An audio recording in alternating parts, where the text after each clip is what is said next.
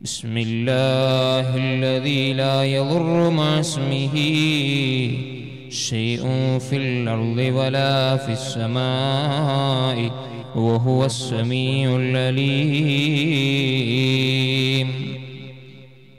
بسم الله الذي لا يضر مع اسمه شيء في الأرض ولا في السماء وهو السميع العليم.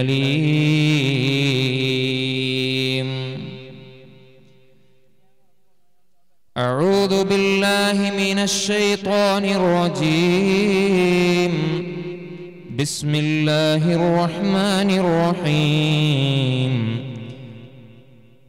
أرأيت الذي يكذب بالدين؟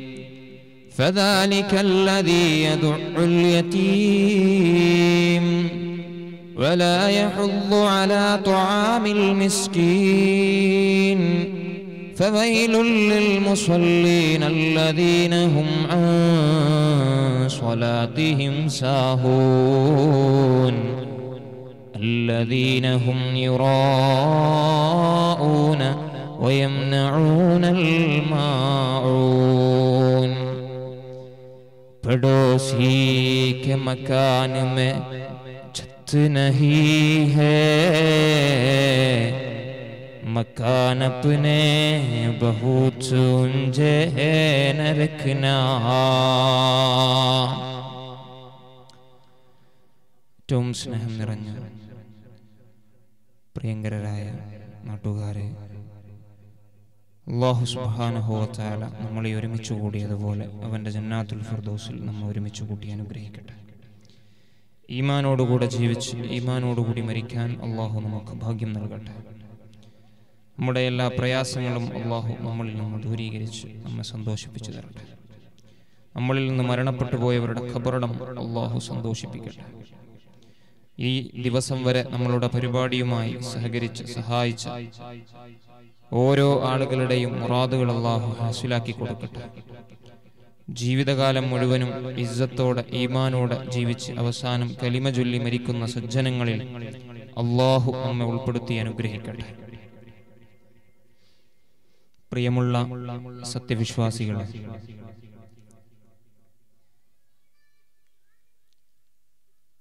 മൂന്നിലേറെ ദിവസങ്ങളായി നമ്മളിങ്ങനെ ഒരു മതപ്രഭാഷണ പരമ്പര സംഘടിപ്പിച്ച് വ്യത്യസ്തങ്ങളായ വിഷയങ്ങളെ മനസ്സിലാക്കുകയും പഠിക്കുകയും ചെയ്തുകൊണ്ടിരിക്കുകയാണ്. എനിക്ക് നിങ്ങളോട് സൂചിപ്പിക്കാനുള്ളത് ഇവിടെ പ്രഭാഷണം വർഷം തോറും നടക്കാറുണ്ട്. എന്നാൽ നൽകുന്ന വിഷയങ്ങൾ കൃത്യമായി മനസ്സിലാക്കാൻ ഈ ഇരിക്കുന്നവർക്ക് സാധിച്ചിട്ടില്ല എങ്കിൽ പറയുന്ന കാര്യങ്ങൾ ഉൾക്കൊള്ളാൻ സാധിച്ചിട്ടില്ല എങ്കിൽ ജീവിതത്തിൽ അത് ഉപകാരപ്പെടുകയില്ല എന്നത് തീർച്ചയാണ്. നമ്മൾ ഈ പാതിരാവിന്റെ നിശബ്ദതയിൽ ഇങ്ങനെ ഒരുമിച്ച് കൂടുന്നത് അള്ളാഹുവിന്റെ ദീന് പഠിക്കാൻ വേണ്ടിയും അത് ജീവിതത്തിൽ പകർത്താൻ വേണ്ടിയുമാണ്. നമ്മളുടെ ജീവിതത്തിൽ നാം ആരോടൊക്കെ കടപ്പെട്ടിരിക്കുന്നുവോ? ആ കടപ്പെട്ടവരെയൊക്കെ പരിചയപ്പെടലും അതുവഴി അള്ളാഹുവിലേക്ക് എത്തിപ്പെടലും ഒരു മുഗ്മിനിന്റെ ബാധ്യതയാണ്. നമ്മെ സംബന്ധിച്ചിടത്തോളം വളരെ ചുരുങ്ങിയ നാൾ മാത്രമാണ് ഈ ഭൂമണ്ഡലത്തിൽ ജീവിക്കാൻ അള്ളാഹു അവസരം നൽകുകയുള്ളൂ. വളരെ ചുരുങ്ങിയ കാലം മാത്രം ജീവിക്കാൻ അവസരം കിട്ടിയ ആളുകളാണ് നമ്മൾ. ഒരു ദിവസം കലീമുല്ലാഹി മൂസ അലൈഹി സ്വലാത്തു വസ്സലാമിന്റെ അടുത്തു വന്നിട്ട് ഒരു ഉമ്മ സങ്കടം പറഞ്ഞു. ഒരു ഉമ്മ സങ്കടം പറഞ്ഞു. മൂസ നബിയെ ഞങ്ങളുടെ മുന്നൂറ് വയസ്സുള്ള മക്കൾ മരണപ്പെട്ടു പോവുകയാണ്. വളരെയധികം ശ്രദ്ധയോടുകൂടെ വീക്ഷിക്കണം. ഞങ്ങളുടെ മക്കൾ അവർക്ക് മുന്നൂറ് വയസ്സാകുമ്പോഴേക്ക് തന്നെ മരണപ്പെട്ടു പോവുകയാണ്. ഇത് കേട്ടപാടെ മൂസ നബി അലൈഹി സ്വലാത്തു വസ്സലാം ചിരിച്ചു. നമുക്കും ചിരി വരുന്നുണ്ട്. മുന്നൂറ് വയസ്സുള്ള മക്കൾ മരണപ്പെട്ടു പോകുന്നു എന്ന് പറഞ്ഞ് പ്രവാചകന്റെ അടുത്ത് അഭയം തേടി പ്രാർത്ഥിക്കാൻ പറഞ്ഞ പ്രവാചകൻ തിരിച്ചു ചിരിച്ചു കൊടുത്തു. അപ്പോ ആ നാട്ടുകാര് പറഞ്ഞു അല്ല മൂസ നബിയെ ഞങ്ങൾ ഇങ്ങനെ വല്ലാത്ത ഒരു പ്രയാസം നിങ്ങളോട് വന്ന് പറഞ്ഞിട്ട് മക്കൾ മരിച്ചു പോകുന്ന കഥ പറഞ്ഞിട്ട് നിങ്ങളെന്തേ ചിരിക്കുന്നത് എന്ന് ചോദിച്ചപ്പോ മഹാനായ മൂസനബി അലൈഹി സ്വലാത്തു വസ്സലാം അവിടെ നിന്ന് പറയുന്നുണ്ട് നിങ്ങൾക്ക് മുന്നൂറ് വയസ്സുള്ള മക്കൾ മരിച്ചു പോകുന്നതിൽ അത്ഭുതമുണ്ടെങ്കിൽ കേവലം അറുപത് വയസ്സ് മാത്രം പ്രായമുള്ള ഒരു സമൂഹം അള്ളാഹുവിനെ സൃഷ്ടിക്കാനുണ്ട്. അറുപതോ എഴുപതോ വയസ്സ് മാത്രം പ്രായമുള്ള അതുവരെ മാത്രം എത്തിപ്പെടാൻ മാത്രം തൗഫീക്കുള്ള ആയുസ് തോനയില്ലാത്ത ഒരു ഉമ്മത്ത് കടന്നു വരാനുണ്ട്. അഥവാ മഹാനായ മുഹമ്മദുർ റസൂലുള്ളാഹി. സ്വല്ലല്ലാഹു അലൈഹി വസല്ലം ആ നബി സല്ലല്ലാഹു അലൈഹി വസല്ലമ തങ്ങളുടെ ഉമ്മത്തിന്റെ കാലാവധി അറുപതോ എഴുപതോ ആണ്. അപ്പൊ മൂസ നബി അലൈഹി സ്വലാത്തു വസ്സലാമിനോട് അവർ ചോദിച്ചു അല്ല നബിയെ അങ്ങനെയാണെങ്കിൽ അവർ വലിയ വീടുകൾ വെക്കുമോ നബിയെ? അവർ വീടുണ്ടാക്കിയിട്ട് താമസം തുടങ്ങുമോ നബിയെ? വളരെ ചുരുങ്ങിയ കാലം അവർ ഭൂമിയിൽ ജീവിക്കുന്ന അവർക്ക് എന്തിനാണ് വീട് നബിയെ? അപ്പം മൂസ നബി അലൈഹി സ്വലാത്തു വസ്സലാം ഒന്നുകൂടെ ഒന്നങ്ങ് ചിരിച്ചുപോയി.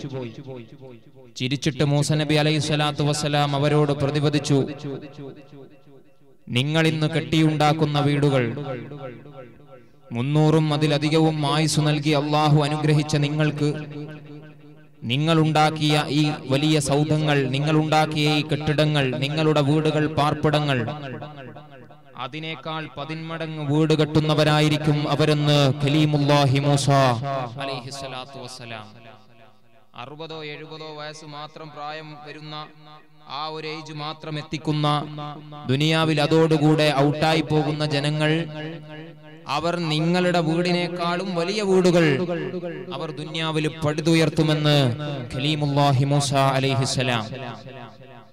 അമ്പരച്ചുംബികൾ കാണാത്ത വലിയ വലിയ കോൺക്രീറ്റ് സൗധങ്ങൾ കാണാത്ത മൂസനബിയുടെ സമുദായം അന്തരിച്ച് അവരുടെ ആ ഒരു വാക്ക് കേട്ടുകൊണ്ട് അത്ഭുതപ്പെട്ട് മഹാനവറുകളുടെ മുമ്പിൽ നിന്ന് അറിയാതെ ചിരിച്ചു പോകുന്നുണ്ട്. ഞാൻ പറഞ്ഞു വരുന്നത് ആ ഒരു ചുരുങ്ങിയ കാലയളവ് മാത്രമേ നമുക്ക് ഈ ഭൂമിയിൽ ജീവിക്കാനുള്ളൂ. പതിനാല് നൂറ്റാണ്ട് മുമ്പ് ലോകാരോഗ്യ സംഘടന പോലും വിളിച്ചു പറയാൻ ധൈര്യപ്പെടാത്ത വിധത്തിൽ പതിനാല് നൂറ്റാണ്ട് മുമ്പ് പുന്നാര നബി സല്ലാഹു അലൈഹി വസല്ല തങ്ങൾ ഈ ലോകത്തോട് വിളിച്ചു പറഞ്ഞു എന്റെ ഉമ്മത്തിന്റെ ആയുസ്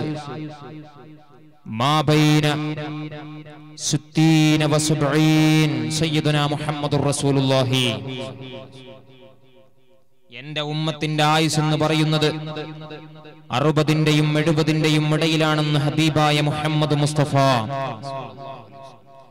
അങ്ങനെ പ്രഖ്യാപിക്കാൻ ലോകത്തൊരാർക്കേ കഴിഞ്ഞിട്ടുള്ളൂ. അത് ഹബീബായ നബിതങ്ങൾക്കാണ് അതുപോലെ പല പ്രഖ്യാപനങ്ങളും മുത്തുനബി നടത്തിയിട്ടുണ്ട്. മദീനത്ത മണ്ണിനെ സാക്ഷി നിർത്തിയിട്ട് പുന്നാര നബിതങ്ങൾ അവിടെ നിന്ന് പ്രഖ്യാപിച്ചു. ലോകത്തൂരാരോഗ്യ സംഘടനക്കും പ്രഖ്യാപിക്കാൻ കഴിയാത്ത വിധം അവിടെ നിന്ന് പ്രഖ്യാപിച്ചു കഴിഞ്ഞു. എന്റെ ഈ മദീനത്ത മണ്ണിൽ പ്ലേഗ് രോഗം കടന്നു വരില്ല വസൂരി കടന്നു വരില്ല ഒരു നാട്ടിലേക്ക് ഒരു രോഗവും കടന്നു വരില്ല എന്ന് പറയാൻ ഇത്രത്തോളം സംവിധാനങ്ങളും ടാബ്ലറ്റുകളും മറ്റു അനു അനുബന്ധ സംവിധാനങ്ങളും വർദ്ധിച്ചു വരുന്ന ഈ വർത്തമാനകാലത്തെ ഒരാരോഗ്യ വകുപ്പിനും പറയാൻ കഴിയാത്ത വിധത്തിൽ പുന്നാര നബി പതിനാല് നൂറ്റാണ്ട് മുമ്പ് മക്കയിലെ മദീനയിലെ ജനസാഗരങ്ങളെ സാക്ഷി നിർത്തിയിട്ട് വിളിച്ചു പറഞ്ഞു എന്റെ ഈ മണ്ണിലേക്ക് പ്ലേഗ് രോഗം കടന്നു വരില്ല. അതുപോലെ തന്നെ മസീഹുദ്ദജാലും എന്റെ ഈ മണ്ണിൽ കാലുകുത്തില്ലെന്ന് സയ്യിദുനാ റസൂലുള്ളാഹി. സ്വല്ലല്ലാഹു അലൈഹി വസല്ലം. നോക്കൂ നിങ്ങൾ. എന്റെ വിഷയം അതല്ല ഞാൻ പറഞ്ഞു വരുന്നത് ആ നേതാവ് പ്രഖ്യാപിച്ചു എന്റെ ഉമ്മത്തിന്റെ ടൈം എന്ന് പറയുന്നത് അറുപതിന്റെയും എഴുപതിന്റെയും ഇടയിലാണ്. ആ ചുരുങ്ങിയ കാലത്ത് ജീവിക്കുന്ന നമ്മെ സംബന്ധിച്ചിടത്തോളം നമുക്കൊരുപാട് ബാധ്യതകളുണ്ട്. നമുക്കൊരുപാട് കടപ്പാടുകളുണ്ട്. ഞാൻ ആളുകളൊന്ന് വന്നോട്ടെ എന്ന് വിചാരിച്ചിട്ടാണ് ആമുഖം ഇങ്ങനെ വിശദീകരിച്ചു പറയുന്നത്. എന്റെ പ്രിയപ്പെട്ട സഹോദരങ്ങളോട് എനിക്ക് സൂചിപ്പിക്കാനുള്ളത് എന്റെ പ്രിയപ്പെട്ട സഹോദരങ്ങളോട് വിനയത്തോടുകൂടെ സൂചിപ്പിക്കാനുള്ളത് ഈ പരിസരത്ത് എവിടെയെങ്കിലും എന്റെ ശബ്ദം കേൾക്കുന്നുവെങ്കിൽ നിങ്ങൾ ഈ സദസ്സിലേക്ക് വന്നിരിക്കണമെന്ന് വളരെ വിനയത്തോടുകൂടെ ആവശ്യപ്പെടുകയാണ്. ഞാൻ പറഞ്ഞു വരുന്നത് എന്റെ പ്രിയപ്പെട്ട സഹോദരിമാരെ പതിനാല് നൂറ്റാണ്ട് മുമ്പ് പുന്നാര നബി സല്ലല്ലാഹു അലൈഹി വസല്ലമ തങ്ങൾ പറഞ്ഞതുപോലെ അറുപതിന്റെയോ എഴുപതിന്റെയോ ഇടയിൽ വെച്ചുകൊണ്ട് ഈ ഭൂമി ലോകത്ത് നിന്ന് നമ്മൾ അപ്രത്യക്ഷമാകുന്നുവെങ്കിൽ പിന്നെ നമുക്ക് കാണാനുള്ളത് പരച്ചോന്റെ പരലോകമാണ്. അള്ളാഹുവിന്റെ പരലോകമാണ്. ആദ്യം കബറും പിന്നെ മഷറയും പിന്നീട് സ്വർഗവും നരകവും കാണിച്ചു തന്ന് കൃത്യമായി വേർതിരിച്ചു. നെല്ലും പതിരും കതിരും വേർതിരിക്കുന്നത് പോലെ വേർതിരിച്ചുകൊണ്ട് അവന്റെ നീതിമാനായ റബ്ബിന്റെ തീരുമാനങ്ങൾ ഇറക്കി ഓരോരുത്തരെയും ഡിവൈഡ് ചെയ്തുകൊണ്ട് പറഞ്ഞേക്കുന്ന ഒരു പ്രഭവ കേന്ദ്രമുണ്ട്. അതാണ് മഷറ അള്ളാഹു തആല അവിടെ വിജയിക്കുന്നവരിൽ നമ്മെ പെടുത്തി അനുഗ്രഹിക്കട്ടെ. ആ മഷറയിൽ വിജയിക്കണമെങ്കിൽ ആ സ്വർഗത്തിലേക്ക് കടക്കണമെങ്കിൽ ഞാൻ ഇന്നലെ പറഞ്ഞ വിഷയത്തോട് ചേർത്ത് വെക്കാൻ പറ്റിയ മറ്റൊരു വിഷയമാണ് ഞാൻ ഇന്ന് സൂചിപ്പിക്കുന്നത്. ഇന്നലെ പറഞ്ഞു ഉമ്മയുടെ മഹത്വം ഇന്നലെ പറഞ്ഞു വാപ്പയുടെ മഹത്വം രണ്ടു പേരുമില്ലാതെ ആ സ്വർഗത്തിലേക്ക് കാലുവെക്കാനോ മഷറയിൽ വിജയിക്കാനോ നമുക്ക് സാധ്യമല്ല. രണ്ടു പേരുടെയും പിന്തുണയും അവർ രണ്ടുപേരുടെയും സഹായവും ലഭിക്കാതെ അവരുടെ മനസ്സുകൊണ്ട് നമ്മെ തൃപ്തിപ്പെടാതെ നമുക്ക് ആ സ്വർഗത്തിൽ കടക്കാമെന്ന് നമ്മൾ കരുതണ്ട. എന്നാൽ ആ മാതാപിതാക്കളുടെ അതേ പവിത്രത ലോകത്ത് കൊടുക്കുന്ന ഒരു കൂട്ടം ആളുകൾ ഈ ഭൂമി ലോകത്തുണ്ട്. അവരെ നമുക്ക് പരിചയപ്പെടൽ അനിവാര്യമാണ്. മാതാപിതാക്കൾക്ക് എത്രത്തോളം പവിത്രത കൊടുത്തിട്ടുണ്ടോ അതുപോലെ നിങ്ങൾ കാണേണ്ട നിന്റെ ഉമ്മയെ പോലെ നിങ്ങൾ കാണേണ്ട ഒരു കൂട്ടം ആളുകൾ നമ്മളുടെ ചുറ്റിലുമുണ്ടെന്ന് മുഹമ്മദ് മുസ്തഫ അലൈഹി പഠിപ്പിക്കുകയാണ്. നീ നിന്റെ ഉമ്മാക്ക് എത്രത്തോളം സ്ഥാനം കൊടുക്കുന്നു? നീ നിന്റെ ഉമ്മയെ എത്രത്തോളം സ്നേഹിക്കുന്നു? നീ നിന്റെ ഉമ്മയെ എത്രത്തോളം ആദരിക്കുന്നു? അതുപോലെ ആദരിക്കേണ്ട ഒരു കൂട്ടർ നിങ്ങളുടെ ഉടയിലുണ്ടെന്ന് ഹബീബായ മുഹമ്മദ് മുസ്തഫ അലൈഹി വസല്ലം നബിതങ്ങളെ പഠിപ്പിക്കുകയാണ്. ഹുർമത്തുൽ ജാരി ജാർ സയ്യിദുനാ മുഹമ്മദ് മുസ്തഫ സല്ലല്ലാഹു അലൈഹി വസല്ലമ തങ്ങൾ പഠിപ്പിക്കുകയാണ്. ഇന്നലെ നമ്മൾ മണിക്കൂറുകളോളം ചർച്ച ചെയ്ത നമ്മുടെ മാതാപിതാക്കളില്ലേ? ഉമ്മയില്ലേ? ആ ഉമ്മയെ പോലെ കാണേണ്ടത് ആരെയെന്നറിയുമോ നിന്റെ അയൽവാസിയെയാണ്. അബീബായ നബിതങ്ങൾ പതിനാല് നൂറ്റാണ്ട് മുമ്പ് ഈ ലോകത്തോട് പഠിപ്പിച്ചു കൊടുത്തു. പെങ്ങൾ നിങ്ങളുടെ കസേരയുടെ ചാരത്തിരിക്കുന്ന നിങ്ങളുടെ കൂട്ടുകാരിയുണ്ടല്ലോ. നിങ്ങളുടെ ചാരത്തിരിക്കുന്ന നിന്റെ അയൽപക്കക്കാരിയുണ്ടല്ലോ. അവളെ വേണ്ട പോലെ നിങ്ങൾ പരിഗണിച്ചില്ല എങ്കിലോ. അവരെ വേണ്ട പോലെ കാണേണ്ടതുപോലെ കണ്ടില്ല എങ്കിലോ. അവരെ നിങ്ങൾ പരിഗണിക്കേണ്ടതുപോലെ പരിഗണിച്ചില്ല എങ്കിലോ. അത് അപകടമാണ്. അള്ളാന്റെ ചോദ്യത്തിന് നമ്മൾ മറുപടി പറയേണ്ടി വരൂ. ജാരി ജാർ നിന്റെ ഉമ്മാക്ക് എത്രത്തോളം സ്ഥാനം നീ കൊടുക്കുന്നുവോ അതുപോലെ നിന്റെ അയൽക്കാരിക്ക് കൊടുക്കണമെന്ന് ഹബീബായ റസൂലുള്ളോ. അലൈഹി വസല്ലം ഇന്ന് പറയൽ അനിവാര്യമായ ഒരു വിഷയം കൂടിയാണ്. ഇൻഷാല്ലാ ഞാൻ അതിന്റെ ഓരോ ഭാഗങ്ങളും പറഞ്ഞു തരാം. എന്റെ പ്രിയപ്പെട്ട പെങ്ങൾ ആ അയൽവാസികളില്ലാതെ നമ്മളുടെ ജീവിതം മുന്നോട്ട് പോകൽ വളരെ പ്രയാസകരമാണ് ആ അയൽവാസി എന്താണ്? ആ അയൽവാസിയുടെ മഹത്വം ആ അയൽവാസിക്ക് അള്ളാന്റെ റസൂൽ കൊടുത്ത പ്രത്യേകതകൾ. എന്തൊക്കെയാണ് നിന്റെ അയൽവാസിയോട് നിനക്കുള്ള ബാധ്യതകൾ? ഇതൊക്കെ തിരിച്ചറിയുമ്പോ പടച്ചോനെ ഇത്രയും വലിയ ആളുകളാണോ എന്റെ വീടിനടുത്ത് താമസമാക്കിയത് എന്ന് തോന്നിപ്പോകുന്നതാണ്. ഹബീബായ നബി സല്ലല്ലാഹു അലൈഹി വസല്ലമ തങ്ങൾക്ക് പോലും തോന്നിപ്പോയിട്ടുണ്ട്. മഹാനായ റസൂലുള്ളാഹി തങ്ങളുടെ അടുത്തേക്ക് മലക്കു ജിബ്രീൽ ജിബിരിയിൽ മഹാനായ മാലാക ജിബിരിൽ അലൈഹി സ്വലാത്തു വസ്സലാം കടന്നു വന്നു എന്നിട്ട് റസൂലുള്ളാനോട് പറഞ്ഞു റസൂലുള്ള പറയുകയാണ് സുഹാബാ യുസിനി ما زال جبريل بالجار حتى ظننت سيورثه എന്റെ സുഹാബ എന്റെ അടുത്ത് ജിബിരി അലൈഹി വസ്സലാം കടന്നു വന്നു എന്നിട്ട് എന്നോട് നിരന്തരം പറഞ്ഞുകൊണ്ടിരുന്നു വസീയത്ത് ചെയ്തുകൊണ്ടിരുന്നു. യൂസിനി എന്നോട് വസീയത്ത് ചെയ്തുകൊണ്ടേയിരുന്നു. എന്തെന്നറിയുമോ? ബിൽജ നബിയേ നബിയേ നബിയേ അങ്ങയുണ്ടല്ലോ. അങ്ങയുടെ അയൽവാസികളോട് കാണിക്കേണ്ടതിന്റെ ബാധ്യതയാണ് പഠിപ്പിക്കുന്നത്. അങ്ങയുടെ അയൽവാസിയോട് കാണിക്കേണ്ട ബാധ്യത ഓരോന്നോരോന്നക്കമിട്ടുകൊണ്ട് പുന്നാര നബിതങ്ങളോട് മഹാനായ ജുബിരിൽ അലൈഹി സ്വലാത്തു വസ്സലാം പറഞ്ഞു കൊടുത്തപ്പോ സുബ്ഹാനല്ലാ സ്വഹാബറുകൾ പറയുകയാണ് പുന്നാര നബിതങ്ങൾ പറയുകയാണ്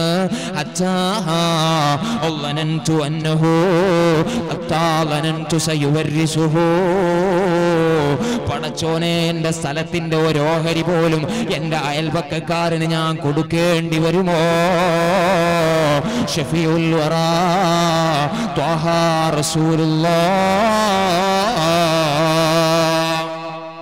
എന്റെ അയൽവാസിയുടെ അക്കൗണ്ടിലേക്ക് എന്റെ സ്ഥലത്ത് നിന്നൊരു വിഹിതം ഞാൻ കൊടുക്കേണ്ടി വരുമോ ആര്? മഹാനായ റസൂലുള്ളാഹി സ്വല്ലല്ലാഹു അലൈഹി വസല്ലം. ഇങ്ങനെ വിചാരിച്ചു പോവാണ്. എന്റെ സ്ഥലത്ത് നിന്ന് ഞാൻ എന്റെ മക്കൾക്ക് വിഹിതം കൊടുത്തു വിടുമ്പോ അതിന്റെ കൂട്ടത്തിൽ എന്റെ സ്ഥലം ഒരു ഭാഗം ഞാൻ എന്റെ അയൽവാസിക്ക് കൊടുക്കേണ്ടി വരുമോ പഠിച്ചോനെ എന്ന് വരെ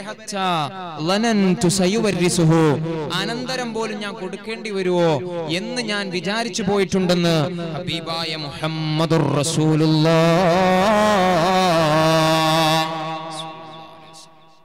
അത്രയും പവിത്രതയുള്ള ആളുകളാണ്. സാറേ അത് ഇവിടെ പറയല്ല. കാരണം ഞങ്ങളെ ചുറ്റും ഫുൾ അയൽവാസികൾ നാളെ മുതൽ കാണേണ്ട ആൾക്കാരാണ് അല്ലേ?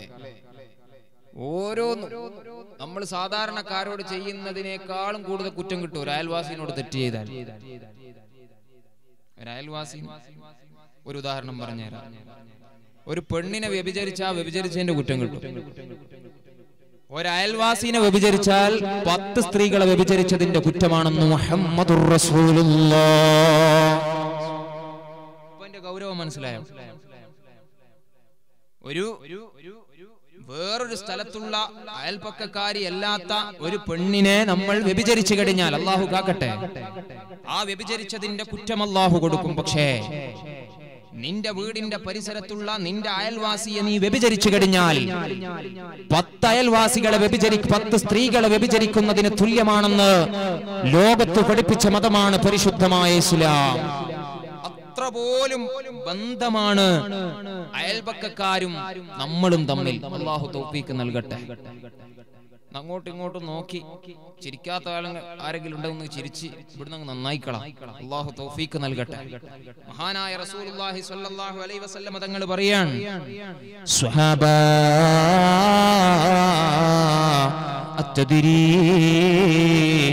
മാ ഹക്കുൽ ജാർ സ്വഹാബ നിനക്കറിയുമോ നിങ്ങൾക്കറിയുമോ? എന്താണ് ഒരു അയൽവാസിയോടുള്ള ബാധ്യതയെന്ന് നിങ്ങൾക്കറിയുമോ സുഹാബ? ഒമ്പതോളം ബാധ്യതകൾ പുന്നാര നബിതങ്ങളെന്ന് പറഞ്ഞു കൊടുക്കുന്നു. ഈ ഒമ്പത് ബാധ്യതകളും ഒരു അയൽവാസിയുടെ നേരെ നടത്തിയാൽ അവിടെ വിജയമുണ്ട്? ഷഫീഉൽ الورى طه محمد مصطفى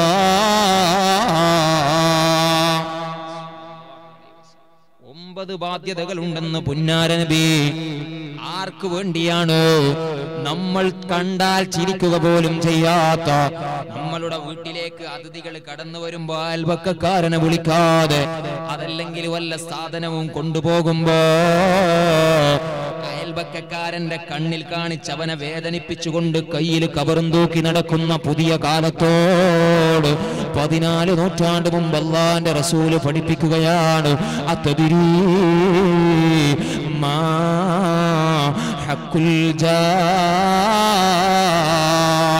അയൽവാസിയോടുള്ള ബാധ്യത അറിയുമോ സുഹാബ? ഒന്നാമതായി ഹബീബായ നബിതങ്ങൾ പഠിപ്പിക്കുകയാണ്. സുഹാബ പാവങ്ങളായ അയൽവാസികൾ നിങ്ങളുടെ ചുറ്റിലുമുണ്ടെങ്കിലോ അവർ നിങ്ങളുടെ വീടിന്റെ പരിസരത്ത് വന്നിട്ട് വല്ല കടവും ചോദിച്ചു കഴിഞ്ഞോ? അവരുടെ വീട്ടിൽ അന്നം ഉണ്ടാവില്ല. അവരുടെ വീട്ടിൽ ജോലിക്ക് പോകുന്നയാൾ ഉണ്ടാവില്ല യത്തീമീങ്ങൾ വളരുന്ന വീടാവാം. എന്നാൽ അവരുടെ ഒരു ദിവസത്തെ ചെലവിന് വേണ്ടി എന്തെങ്കിലും ഒരു ആവശ്യത്തിന് നിന്റെ വീട്ടിൽ വന്നിട്ടോ നിന്നോട് വല്ലതും കടം ചോദിച്ചാൽ നിന്റെ കയ്യിലുണ്ടെങ്കിൽ പിടിച്ചു വെക്കല്ലേ സന്തോഷിപ്പിച്ചുകൊണ്ടവരെ പറഞ്ഞേക്കണേ. മുഹമ്മദ് മുസ്തഫ. ഒന്നാമത്തെ ബാധ്യത കടം കൊടുക്കലാണ്. കുടുംബക്കാരന്റെ കയ്യിൽ നിന്ന് കടം കിട്ടൂല. കുടുംബക്കാരൻ വിദൂരത്തായിരിക്കാം പക്ഷേ അയൽവാസി എന്ന് പറയുന്നത് ഏതവസ്ഥയിലും നമ്മളുടെ കൂടെ നിൽക്കേണ്ടയാളാണ്. ഒന്ന് വല്ല വേദനയും വന്നാ വിളിച്ചാ കേൾക്കുന്നവൻ അയൽവാസിയാണ്. ആ അയൽവാസിയെ നിങ്ങൾ വേദനിപ്പിക്കാൻ പാടില്ല. അവൻ വല്ല കടവും ചോദിച്ചാൽ അത് കൊടുത്തു വീട്ടണേ മുഹമ്മദ് മുസ്തഫ.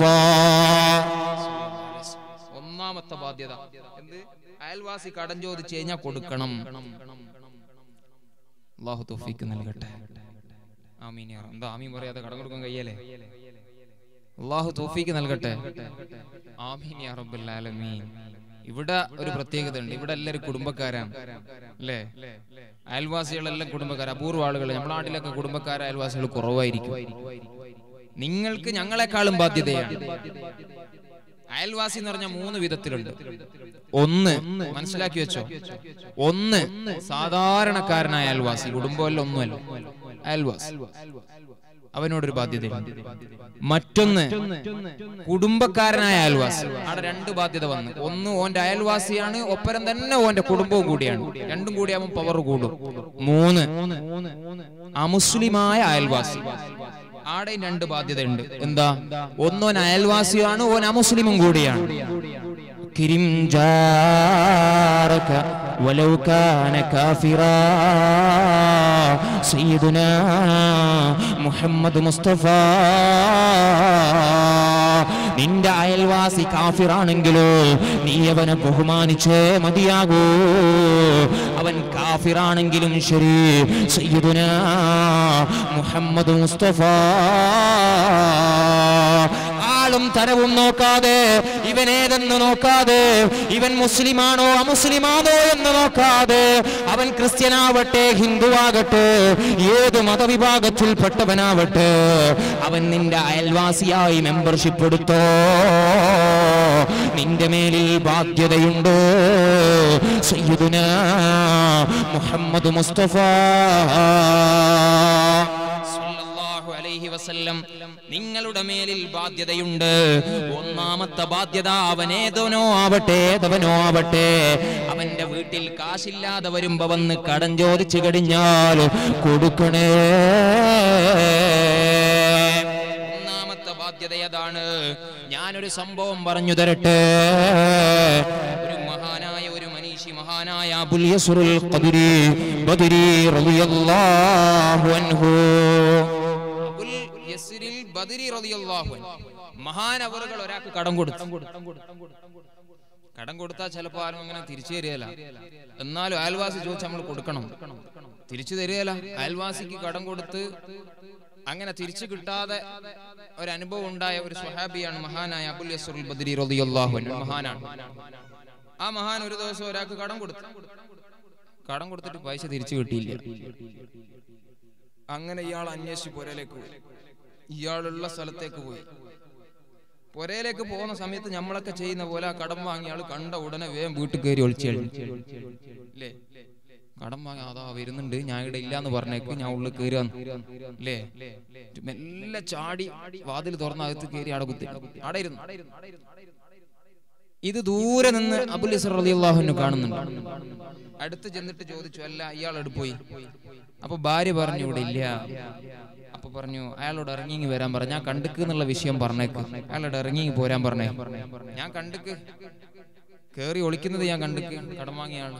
ഞാൻ കണ്ടില്ല നിങ്ങൾ വെറുതെ കള്ളത്തരം പറയാൻ നിൽക്കണ്ട ഇറങ്ങി വരാൻ പറ. എന്നിട്ടോ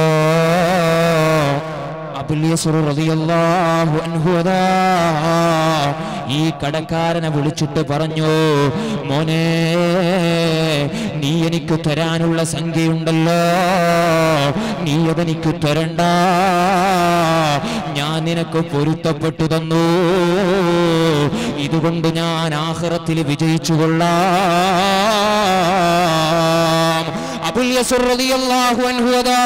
കടം കൊടുത്ത മനുഷ്യന്റെ പ്രയാസം മനസ്സിലാക്കിയിട്ട് ആ മനുഷ്യനിക്ക് പൊരുത്തപ്പെട്ടു കൊടുക്കുകയാണ്. കാരണം എന്തെന്നറിയുമോ അയൽവാസിയാണ്. അയൽവാസി എന്നെ പേടിച്ചുകൊണ്ട് വീട്ടിലിരിക്കേണ്ട ഗതികേട് വരരുത്. ഞാൻ സംഖ്യ തിരിച്ചു കിട്ടൂല എന്ന് ഭയപ്പെട്ടുകൊണ്ട് എന്നെ പേടിച്ച് നടക്കേണ്ട ഗടികേട് ഈ അബുലിയശ്രീയുടെ അയൽവാസിക്കുണ്ടാവല്ലോ എന്ന് പേടിച്ചുകൊണ്ട് അബുലിയശ്രീ ആ കടക്കാരനോട് പറഞ്ഞു തരാനുള്ള സംഖ്യ വിട്ടുതന്നു. എനിക്ക് വേണ്ട. കടക്കാരനാരോ അവധി നൽകുന്നെങ്കിലേ അല്ലെങ്കിൽ ഇളവും ചെയ്തു മുഴുവൻ തുകയിലേ. അവനുണ്ട് നാളെ തണൽ റബ്ബിൽ നിന്ന് എന്നുള്ളതും ഞാൻ കേട്ടു റബ്ബിൽ നിന്ന്. അബീബായ നബിതങ്ങൾ പഠിപ്പിച്ചില്ലേ? അയൽവാസിക്ക് കടം കൊടുത്തു കഴിഞ്ഞോ? ഒരു മനുഷ്യനിക്ക് കടം കൊടുത്തു കഴിഞ്ഞോ? ഒന്നുകിൽ അവനിക്ക് ഇളവ് കൊടുക്കുക. അല്ലെങ്കിലോ അവന്റെ കയ്യിൽ നിന്നത് തിരിച്ചു കിട്ടില്ല എന്ന ബോധ്യം വന്നു കഴിഞ്ഞാൽ ആ മനുഷ്യനിക്ക് പൊരുത്തപ്പെട്ടു കൊടുക്കുക.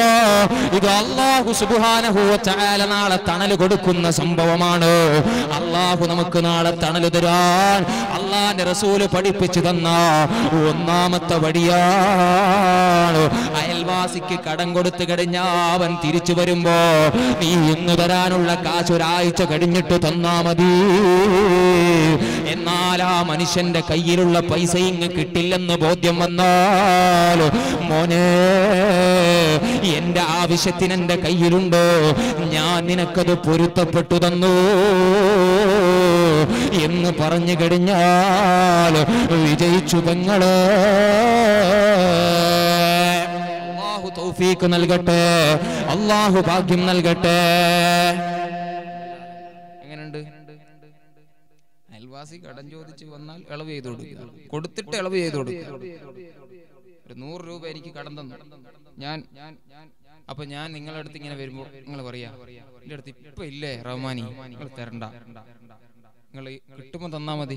അല്ലെങ്കിൽ നിങ്ങൾ രണ്ടാഴ്ച കഴിഞ്ഞിട്ട് തന്നാ മതി റഹ്മാനി. എന്നാലും വേണ്ടിയില്ല. അപ്പൊ എന്റെ മനസ്സിലുണ്ടാകുന്ന ഒരു സന്തോഷമുണ്ടല്ലോ. അത് ലോകത്ത് ഒരാൾക്ക് നിങ്ങൾക്ക് തരാൻ കഴിയാത്ത ഒരു സുഹൃതമാണ്. മഹാനായ റസൂലുള്ളാഹി അലൈഹി തങ്ങൾ പഠിപ്പിക്കുകയാണ്. ഹബ്ബുന്നാസി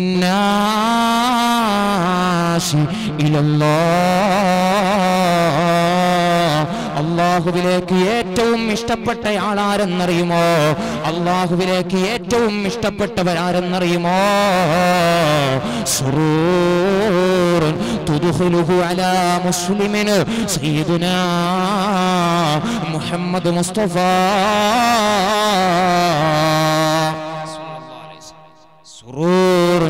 ഒരു മനുഷ്യനെ സന്തോഷിപ്പിക്കലാണ്. ഒരു മനുഷ്യന്റെ കൽബ് നനക്കലാണ്. ഹബീബായ മുഹമ്മദുർ റസൂലുള്ള. ഒരു മനുഷ്യന്റെ കൽബ് നനക്കലാണ്. ലോകത്ത് അള്ളാഹ് ഏറ്റവും ഇഷ്ടപ്പെട്ട അമൽ എന്ന് പറയുന്നത് ഒരാളെ സന്തോഷിപ്പിക്കലാണ്. കയ്യിൽ കാശില്ലാതെ പ്രയാസപ്പെടുമ്പോ ബുദ്ധിമുട്ടുമ്പോ കണ്ടറിഞ്ഞ ആ വീട്ടിലേക്ക് ചെന്ന് ആ വീട്ടിൽ ആവശ്യങ്ങൾ നിറവേറ്റി കൊടുത്തു കഴിഞ്ഞാൽ ആ മനുഷ്യന്റെ കൽബ് നനച്ചു ആ മനുഷ്യന്റെ ഹൃദയം നന്നായി ആ മനുഷ്യന്റെ ഹൃദയത്തിൽ സന്തോഷം വന്നു ആ ഹൃദയത്തിൽ വരുന്ന സന്തോഷമാണ് അള്ളാഹുവിന് ഏറ്റവും ഇഷ്ടപ്പെട്ട അമലെന്ന് സയ്യിദുനാ റസൂലുള്ളാഹി. അത് നമ്മൾ ഉണ്ടാക്കിയെടുക്കേണ്ടതാണ് നൽകട്ടെ. നമ്മുടെ അയൽപക്കക്കാരെങ്കിലും പ്രയാസം അനുഭവിക്കുന്നുവെങ്കിൽ വല്ല പ്രയാസവും അനുഭവിച്ചുകൊണ്ട് വീട്ടിലിരിക്കുന്നുവെങ്കിലോ ആ വീട്ടിലേക്ക് ചെന്നുകൊണ്ട് ആ വീട്ടുകാരുടെ ആവശ്യമങ്ങ് നിറവേറ്റി കൊടുക്കുമ്പോ ആ മനുഷ്യന്റെ ഹൃദയത്തിൽ ഉണ്ടാകുന്ന സന്തോഷമുണ്ടല്ലോ. അത് വിലമതിക്കാൻ കഴിയാത്തതാണ്. അത് വിലമതിക്കാൻ കഴിയാത്തതാണ്. അള്ളാഹു തോഫീക്ക് നൽകട്ടെ. അങ്ങനെ അയൽവാസികളെ കണ്ടറിഞ്ഞ് സഹായിക്കാനുള്ള മനസ്സ് അള്ളാഹു നമുക്ക് നൽകട്ടെ. വേറെയുണ്ട് മഹാനായ പരിശുദ്ധമായ ഖുർആനിൽ അല്ലാഹു സുബ്ഹാനഹു വ തആല സൂചിപ്പിക്കുന്ന ഒരു ആയത്തുണ്ട്. എന്താ? ദീനിനെ പൊളിക്കുന്നവൻ ദീനിനെ കളിയാക്കുന്നവൻ ദീനിനെ കളവാക്കുന്നവൻ ദീനിനെ നിഷേധിക്കുന്നവൻ. ആരാന്നറിയോ എന്നൊരു ചോദ്യമുണ്ട് ഖുർആൻ വിചാരിക്കും അള്ളാനെ നിഷേധിക്കുന്ന ഒരുത്തനാണെന്ന്. നമ്മൾ വിചാരിക്കും തോന്നിവാസം കളിക്കുന്നവനാണ്. എന്നാൽ ദീനിനെ നിഷേധിക്കുന്നവൻ ആരാണെന്ന ചോദ്യം പരിശുദ്ധ ഖുർആനിൽ അള്ളാഹു സുബ്ഹാനഹു വ തആല പറയാണ് ബിദ്ദീൻ. ദീനിനെ കളവാക്കുന്നവരെ അറിയുമോ? ആരാണ് ദീനിനെ നിഷേധിച്ചവരെന്നറിയുമോ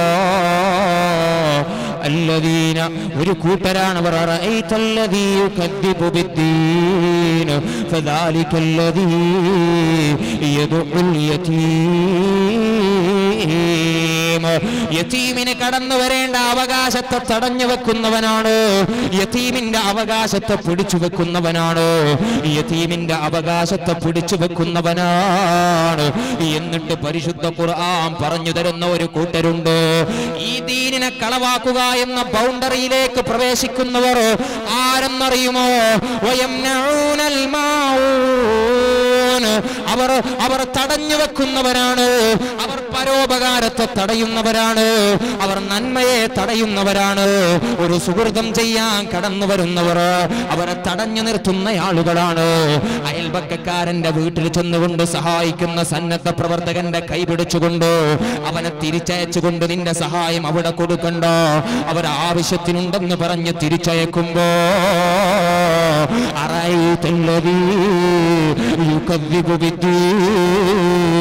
നിങ്ങൾ തന്നെയാണ് ഈ ദീനിനെ കളിയാക്കുന്നത്. നിങ്ങൾ തന്നെയാണ് ഈ ദീനിനെ നിഷേധിക്കുന്നത്. നിങ്ങൾ തന്നെയാണ് കളവാക്കുന്നത്. ഈ അയൽവാസിയോടുള്ള വെറുപ്പ് കാരണമാണ് ഇവൻ ചെയ്യുന്നത്. ഈ അയൽവാസിയും ഇവനും തമ്മിൽ നല്ല റിലേഷൻ ഇല്ല. എന്ന് കരുതിയിട്ട് വരുന്ന സുഹൃതങ്ങളെ മുഴുവനും തടഞ്ഞു വെച്ചു. അവന്റെ അന്നം മുട്ടിക്കുന്ന പരിപാടിയുണ്ടല്ലോ.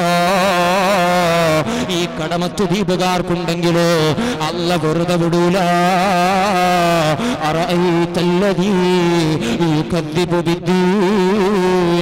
ദീനിനെ കളിയാക്കുന്നവരാണ്. ദീനിനെ നിഷേധിക്കുന്നവരാണ്. പരിശുദ്ധ മാഊൻ. അവരാരെന്നറിയുമോ? പരോപകാരത്തെ തടഞ്ഞു നിർത്തുന്നവരാണ്. പരോപകാരത്തെ തടഞ്ഞു നിർത്തുന്നവരാണ്. അള്ളാഹു നമ്മളെ കാത്തുരക്ഷിക്കട്ടെ. അങ്ങനത്തെ ആളുകൾ ഉണ്ടാകും നല്ല ആലോചന വരുമ്പോ ആ ആലോചന പോലും മുടക്കുന്നവരുണ്ടാകും. അള്ളാഹു കാത്തുരക്ഷിക്കട്ടെ. നല്ല ആലോചന ഒരു പെൺകുട്ടിക്ക് നല്ലൊരു ആലോചന. അയൽവാസി ഇവനും ഇവളും തമ്മിൽ നല്ല ബന്ധം ഉണ്ടാകുക അപ്പൊ ഇവന്റെ പാര പോവും അങ്ങോട്ട്. അല്ലേ? ഒരു കുഴപ്പവും ഉണ്ടാവില്ല ഇവൻ ഇതായിട്ടൊരു ഇവനൊരു സർവീസ് ആയി ഏറ്റെടുത്തതാണ്. ആടെ വരുന്ന കല്യാണം മുഴുവനും മുടക്കുക എന്നുള്ളത്. ആ സർവീസ് ഇവൻ നടത്തിക്കൊണ്ടിരിക്കും. വരുന്നവരൊക്കെ സ്വാഭാവികമായിട്ടും ആദ്യം അന്വേഷിക്കുക അയൽവാസികളോടാണ്. അവളെങ്ങനെ? ആ ചോദ്യത്തിന് ഈ വെറുപ്പുള്ള അയൽവാസിയുടെ മറുപടി ഓളങ്ങനെ? കഴിഞ്ഞു. പിന്നെ ഒന്നും നോക്കാനില്ല. ഓൽ മടങ്ങിപ്പോകും അങ്ങനെ ആ ബന്ധം തന്നെ എന്താക്കി കളിയാ? മുടക്കി കളിയാ. അയൽവാസിക്ക് വല്ല സഹായവും വരുമ്പോ ആ സഹായം വീട്ടിന്റെ പടിക്കൽ എത്തുന്നതിന് മുമ്പ് വന്ന് ബ്ലോക്ക് ചെയ്തോളെ ആടാ അതിന്റെ ആവശ്യം ഓൽ ഉഷാറല്ലേ? ആ ചോദിക്കുവനാ? അല്ലേ? ഓൽക്ക് ഇപ്പൊ അതിന്റെ ആവശ്യമൊന്നുമില്ല ഓൽക്ക് അതിന്റെ ആവശ്യം ഉണ്ടാവും. എന്നാലും ഓൽ പറയും. ആ എന്ത് ചോദിക്കാനാ? അതിന്റെ ആവശ്യം തന്നെ ആടെ ഇല്ല ആടെ ഇപ്പോ പണിക്ക് പോകുന്നുണ്ട്. അല്ലേ? മക്കളെല്ലാം നല്ല ഉദ്യോഗത്തില. എന്ത് ഉദ്യോഗത്തിൽ? അള്ളാഹു നമ്മളെ കാക്കട്ടെ. അങ്ങനെ പറഞ്ഞ് പരോപകാരത്തെ തടഞ്ഞു വെക്കുന്നവനാണ് ദീനിനെ പൊളിക്കുന്നവൻ. അള്ളാഹു കാത്തുരക്ഷിക്കട്ടെ എന്താണ് ഈ എന്ന് പറഞ്ഞാൽ? പരോപകാരം എന്ന് പറഞ്ഞാൽ എന്താ? ഈ തടഞ്ഞു വെക്കുന്ന പരോപകാരം എന്ന് പറഞ്ഞാൽ നമ്മൾ വിചാരിക്കും എന്തൊക്കെയോ ആണ്. ഒന്നുമല്ല നിസ്സാരമായ കാര്യങ്ങൾ പോലും അതിന്റെ ബൗണ്ടറിയിൽ പെടും മുഫസ്സിരിങ്ങൾ സൂചിപ്പിക്കുന്ന മൂന്ന് കാര്യങ്ങളുണ്ട്. ആ മൂന്നും കേട്ട നിങ്ങൾ ഞെട്ടു ഇതും പരോപകാരമാണോ? ഉപകാരമാണ്. ഇത് വിശ ഇത് ഉദ്ദേശിച്ചിട്ടാണോ പറഞ്ഞത് എന്ന് നമുക്ക് തോന്നിപ്പോകും. ഈ മാവൂൻ എന്ന് പറഞ്ഞാൽ മുഫസിരിങ്ങൾ സൂചിപ്പിക്കുകയാണ്. ഉമ്മമാർ മനസ്സിലാക്കി ഉമ്മമാർക്കുള്ള വിഷയം ഉമ്മമാർ മനസ്സിലാക്കേണ്ടതാണ്. അവരാണ് ഇത് തടയാൻ സാധ്യത കൂടുതൽ.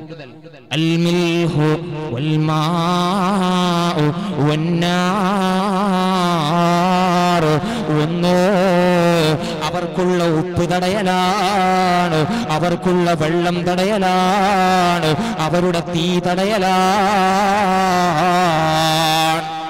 ചിന്തിക്കാൻ കഴിയുന്നുണ്ട്? ഈ മാഊൻ എന്ന് പറഞ്ഞാൽ ഉപ്പും വെള്ളവും തീയുമാണെന്ന് മനസ്സിലാക്കാൻ കഴിയുന്നുണ്ട്. മുഫസിരിങ്ങൾ സൂചിപ്പിക്കുകയാണ് ഒരു വീട്ടിൽ അല്പം ഉപ്പിന്റെ ആവശ്യം വന്നു കഴിഞ്ഞ് ആ ഉപ്പിനോടിയെത്തുന്ന കുഞ്ഞുമകളെ തിരിച്ചുവിടാതെ അത് കൊടുത്തേ മതിയാകൂ. ഒരു വീട്ടിലെ ആവശ്യങ്ങൾക്ക് വേണ്ടി ആ വീട്ടുകാരി ആദ്യം ഓടി എടുക്കേണ്ടത് അയൽവക്കക്കാരിയുടെ അടുത്തേക്കല്ലേ? ആ അയൽവക്കക്കാരി അത് തടഞ്ഞു വെച്ചാൽ അവൾ ദീനിനെ കളിയാക്കുന്നവളാണ്.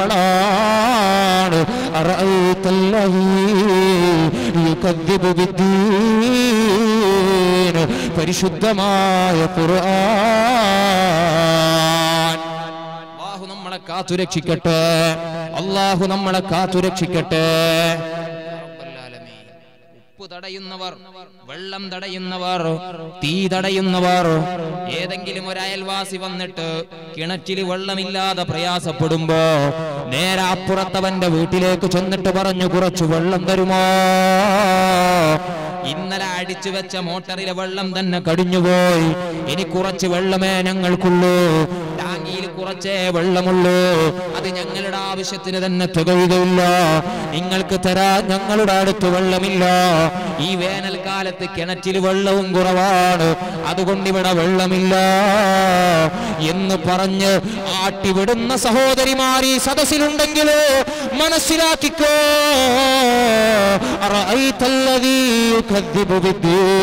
അവർ തന്നെയാണ് ദീനിനെ പൊളിച്ചു കളയുന്നത്. അള്ളാഹു നമ്മളെ സുരക്ഷിക്കട്ടെ അല്ലേ? കിണറ്റിൽ വെള്ളമില്ലാത്ത സമയം. ഒരു കിണറിൽ വെള്ളം ഉണ്ട് ആ കിണറിന് കൊടുക്കണം നമ്മൾ. വെള്ളം തടയാൻ പാടില്ല. ഇനി കുറച്ച് കഴിഞ്ഞാൽ വേനൽക്കാലാണ് ഇവിടുത്തെ സാഹചര്യം എനിക്കറിയില്ല. ഞങ്ങളുടെ നാട്ടിലൊക്കെ പെട്ടെന്ന് വെള്ളം വറ്റും. വെള്ളം വറ്റിയാ പിന്നെ ആശ്രയം അപ്പുറത്തവന്റെ കിണറാണ്. ആ കിണറ്റിലെ വെള്ളം ഞങ്ങൾക്ക് കിട്ടിയില്ല എങ്കിൽ ഞങ്ങളുടെ അന്നം മുടങ്ങും. ശുദ്ധമായ വെള്ളം കുടിക്കാൻ കഴിയാതെ പലരും പ്രയാസപ്പെടും. കേരളത്തിന്റെ പരിസരത്തുകൂടെ സന്നദ്ധ പ്രവർത്തകരുടെ വണ്ടികൾ ഇങ്ങനെ പോകും. പ്രവർത്തകരുടെ വണ്ടി ഇങ്ങനെ പോകും. വെള്ളം ഇങ്ങനെ ഒഴിച്ചു കൊടുക്കാൻ. ഓരോ പാട്ടയും വെച്ചുകൊണ്ട് റോഡരികിൽ ഇങ്ങനെ കാത്തു നിൽക്കുന്നത് കാണാം. വെള്ളത്തിന് വേണ്ടി ഇങ്ങനെ കാത്തു നിൽക്കും. അള്ളാഹു കാത്തു രക്ഷിക്കട്ടെ. എത്ര മഴ കിട്ടിയിട്ടും കാര്യമില്ല. അള്ളാഹ് കണക്കാക്കണം. കഴിഞ്ഞ കൊല്ലം പ്രളയമായിരുന്നു. പക്ഷേ ഈ വർഷം വെള്ളത്തിന് ഞങ്ങൾ ബുദ്ധിമുട്ടിയിരുന്നു. ഈ വർഷവും പ്രളയമായിരുന്നു. ഇതിനിടയിൽ ഇനി എന്ത് സംഭവിക്കുമെന്ന് അള്ളാഹു ആലം. നോക്കൂ നിങ്ങൾ. അള്ളാന്റെ കുതിരത്ത് എന്ന് പറഞ്ഞാൽ എന്താണ്? വെള്ളം. സാധാരണ ഒരു മഴക്കാലത്ത് ലഭിക്കുന്നതിനേക്കാൾ ഏറെ വെള്ളം ലഭിച്ചു. പക്ഷെ അതൊന്നും ഉപകാരത്തിന് പെട്ടില്ല. അതൊന്നും ഉപകാരത്തിന് പെട്ടില്ല. വേനൽക്കാലത്ത് ആ വെള്ളം നല്ലോണം നിറഞ്ഞു വരുമെന്ന് ഉറവയായി വരുമെന്ന് കരുതി. പക്ഷെ അതും നടന്നില്ല. ആ വെള്ളമൊക്കെ ഇവിടെ പോയി? അള്ളാഹുവിന്റെ പരിശുദ്ധ ഖുർആാനിലൂടെ ചോദിക്കുകയാണ്. നിങ്ങൾ കുടിക്കുന്ന വെള്ളത്തെക്കുറിച്ച് ചിന്തിച്ചിട്ടുണ്ടോ? ആരാണ് ആ വെള്ളത്തെ ഇറക്കിവിടുന്നതെന്ന് ചിന്തിച്ചിട്ടുണ്ടോ? എന്ന് പരിശുദ്ധമായ ഖുർആൻ ചോദിക്കുകയാണ്. എന്ന് ഖുർആൻ ചോദിക്കുകയാണ്. നിങ്ങളാ കുടിക്കുന്ന വെള്ളത്തെക്കുറിച്ച് ചിന്തിച്ചിട്ടുണ്ടോ? മേഘാവൃതമായ അന്തരീക്ഷത്തിൽ നിന്ന് ആരാണ് ആ വെള്ളത്തെ ഇങ്ങ് താഴേക്ക് ഇറക്കി വിടുന്നത്? മിനൽ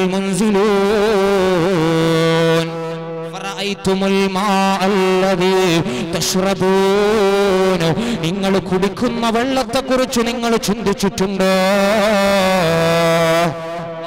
പരിശുദ്ധ കുടിക്കുന്ന വെള്ളം അതിനെക്കുറിച്ച് നിങ്ങൾ ചിന്തിച്ചിട്ടുണ്ടോ? അൻതും അൻസൽതുമൂഹു മിനൽ മുസ്നി അം നഹ്നുൽ മുൻസിലൂൻ. നിങ്ങളാണോ? ഞാനാണോ? അതിനെ ആകാശത്ത് നിന്നിങ്ങ് തൊടുത്തു വിടുന്നത്? അതിനെ ഭൂമിയിലേക്ക് പറഞ്ഞു വിടുന്നത്? എന്ന് പരിശുദ്ധമായ ഖുർആൻ എത്രയെത്ര വെള്ളമാ കടിഞ്ഞ മഴക്കാലത്ത് കേരളക്കരയിൽ പെയ്തിറങ്ങിയത്. പ്രളയമായി പേമാരിയായി കേരളക്കരയിൽ പെയ്തിറങ്ങിയപ്പോ ആ വെള്ളമൊന്ന് കുടിക്കാൻ പോലും കഴിയാതെ ജനങ്ങൾ പ്രയാസപ്പെട്ടില്ലേ പെങ്ങളെ? കടുത്തറ്റം വരെ വെള്ളം ഒലിച്ചു പോയപ്പോ ഒരു കുപ്പി ശുദ്ധജലത്തിന് വേണ്ടി കൈകൾ ഉയർത്തിയിട്ട് സന്നദ്ധ പ്രവർത്തകരോട് വിളിച്ചു പറഞ്ഞില്ലേ? അല്പം വെള്ളം തരുമോ? ഞങ്ങൾക്ക് കുടിക്കാനാണ് ഞങ്ങൾക്ക് കുടിക്കാനാണ്. വെള്ളമാണ് മൂക്കിനുതായ കടുത്തിലൂടെ ഒഴുകിക്കൊണ്ടിരിക്കുന്നത്. ആ വെള്ളം കുടിക്കാൻ പോലും കഴിയുന്നില്ല ആ വെള്ളം കുടിവെള്ളമല്ല. ശുദ്ധജലത്തിന് വേണ്ടി കൈകൾ ഉയർത്തിയിട്ട് സന്നദ്ധ പ്രവർത്തകരോട് കെഞ്ചുന്ന ഒരു കേരളക്കരയെ നിങ്ങൾ കണ്ടിട്ടില്ലേ? കുപ്പിവെള്ളത്തിന് വേണ്ടി കൈനീട്ടുന്നവർ എന്തൊക്കെ അവസ്ഥകളായിരുന്നു?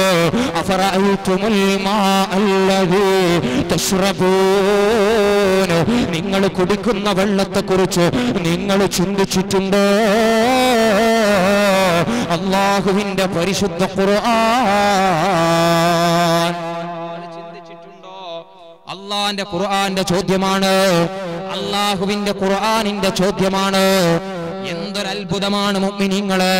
സൂറത്ത് മുൽക്കിലൂടെ അള്ളാഹു സുബാനഹുല അവിടുത്തെ പരിശുദ്ധമായ ആയത്തിലൂടെ കുടിക്കുന്ന വെള്ളത്തെക്കുറിച്ച് പരിചയപ്പെടുത്തിയില്ല? എങ്ങാനും ആ കിണറ്റിലെ വെള്ളമങ്ങ് വറ്റിപ്പോയാൽ നിങ്ങളുടെ കുടിവെള്ളമങ്ങ് വറ്റിപ്പോയാൽ സമയം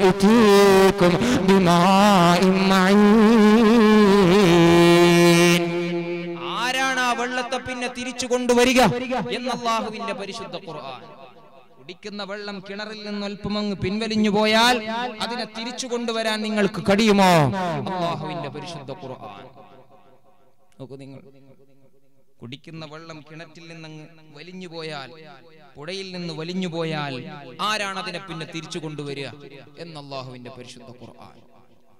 ഇതൊക്കെ മനസ്സിലാക്കിയിട്ട് ശുക്ർ ചെയ്യണം. അള്ളാഹു തോഫീക്ക് നൽകട്ടെ. അള്ളാഹു ഭാഗ്യം നൽകട്ടെ. അള്ളാഹു ഭാഗ്യം നൽകട്ടെ.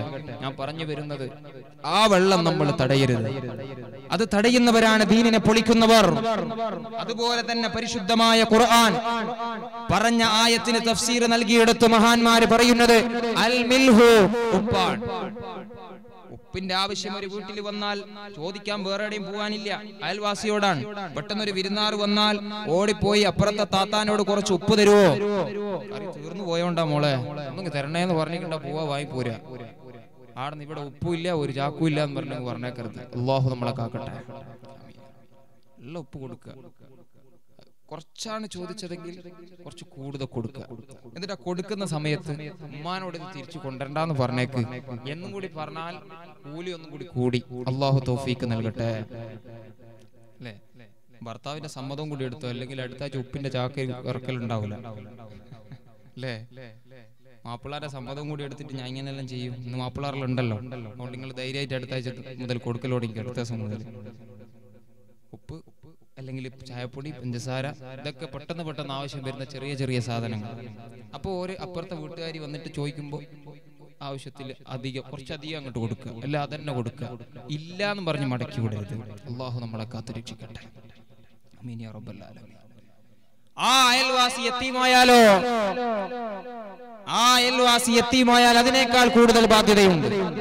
അള്ളാഹു നമ്മളെ കാത്തു രക്ഷിക്കട്ടെ നമ്മുടെ അയൽവാസി എത്തിയുമായി ആ യത്തീമിന് നമ്മൾ ഒരു സാധനവും തടയാൻ പാടില്ല. കാരണം ബാപ്പ ഇല്ലാതെ വളരുന്ന മക്കളാണ്. അള്ളാഹു ഇത്തരം അവസ്ഥയെ തൊട്ട് കാത്തുരക്ഷിക്കട്ടെ. തങ്ങൾ പറഞ്ഞു നിങ്ങൾ അങ്ങാടിയിൽ നിന്ന് സാധനങ്ങൾ വാങ്ങിയിട്ട് വീട്ടിലേക്ക് പോകുമ്പോ നിങ്ങളാ കവറ് കൃത്യമായി അതിന്റെ വണ്ണവും നിറവും കാണാത്ത രീതിയിൽ പൊതിഞ്ഞ് വീട്ടിലേക്ക് കൊണ്ടുപോകണമെന്ന് സയ്യിദുന റസൂലുല്ലാഹി ഭയങ്കര സ്നേഹമാണ് നബി സല്ലല്ലാഹു അലൈഹി വസല്ലമ തങ്ങൾക്ക്. വല്ലാത്ത കാരുണ്യമാണ്. എന്താ പറഞ്ഞത്?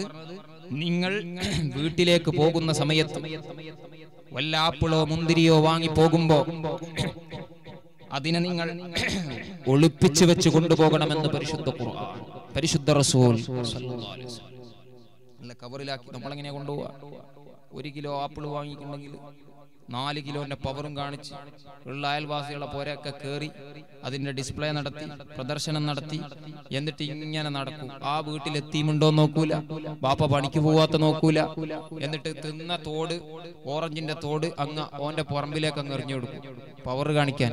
അള്ളാഹു നമ്മളെ കാക്കട്ടെ. ഇല്ലേ അങ്ങനെ തോൽ ഇപ്പൊ ഇല്ല. ഉണ്ടായിരുന്നു. ഇപ്പോഴും ഉള്ള ആളുകൾ ഉണ്ടാകും. അള്ളാഹു നമ്മളെ കാക്കട്ടെ. ഇല്ലേ അങ്ങനെ ചെയ്യരുത്. നിന്റെ അയൽവാസിയുടെ വീടിന്റെ പരിസരത്തു കൂടെ നീ നിന്റെ വീട്ടിലേക്ക് കടന്നു ചെല്ലുമ്പോ നീ വല്ല സാധനവും വാങ്ങിപ്പോകുമ്പോ നീ അതിനെ ഒളിപ്പിച്ചു വെക്കണേ. ഷഫീന മുഹമ്മദ് മുസ്തഫ. കാരണം ആ വീട്ടിൽ ആരൊക്കെയാ ഇല്ലാത്തത് എന്തൊക്കെ പ്രയാസം അനുഭവിക്കുന്നു എന്ന് നിനക്ക് പറയാൻ കഴിയില്ല. ആ വീട്ടിൽ ഒരു നേരത്തെ അന്നം പോലും വെച്ചു വിളമ്പാ ഉമ്മാന്റെ കയ്യിൽ കാശുണ്ടാവില്ല. ഈ സമയത്താണ് നീ ഒരു കിലോ ഓറഞ്ച് വാങ്ങിയിട്ട് ആ വീടിന്റെ പരിസരത്തുകൂടെ നടന്നു പോകുന്നതെങ്കിൽ ഉമ്മാന്റെ കാലത്ത് വന്നിട്ട് ഉമ്മാന്റെ കാൽക്കൽ വന്നിട്ട് മക്കൾ കരഞ്ഞാ എടുത്തു കൊടുക്ക. ആ വീട്ടിൽ വേറെ ഉണ്ടാവില്ല. ഇത് മനസ്സിലാക്കിയ നേതാവാണ് മുഹമ്മദ് മുസ്തഫ. അത് മനസ്സിലാക്കി തരികയാണ് ആറാമത്തെ വയസ്സിൽ എത്തീമായി വളർന്ന പുന്നാര നബിക്ക് പവിത്രത പവിത്രതയറിയോ എന്തൊക്കെ വീട്ടിൽ വീട്ടിലുണ്ടാകുമെന്നറിയോ. ഒരു എത്തീമ് വീട്ടിൽ വളർന്നുകൊണ്ടിരിക്കുമ്പോ ആ അയൽക്കാരന്റെ ബാധ്യത കൂടുകയാണ് നീ നിന്റെ എത്തീമായ അയൽവാസിയുടെ വീടിന്റെ മുമ്പിലൂടെ അവൻ എത്തീമാവട്ടെ അല്ലാത്തവനാവട്ടെ ആ വീട്ടുകാരൻ ജോലിക്ക് പോവട്ടെ എന്തോ ആവട്ടെ. മക്കളുടെ മുമ്പിലൂടെ ഓറഞ്ചിന്റെ കവറുമായി നീ നടന്നു നീങ്ങിയാൽ നിനക്ക് അള്ളാഹുവിന്റെ പ്രീതി ഉണ്ടാവില്ല. കാരണം നീ അയൽവാസിയെ വേദനിപ്പിച്ചു.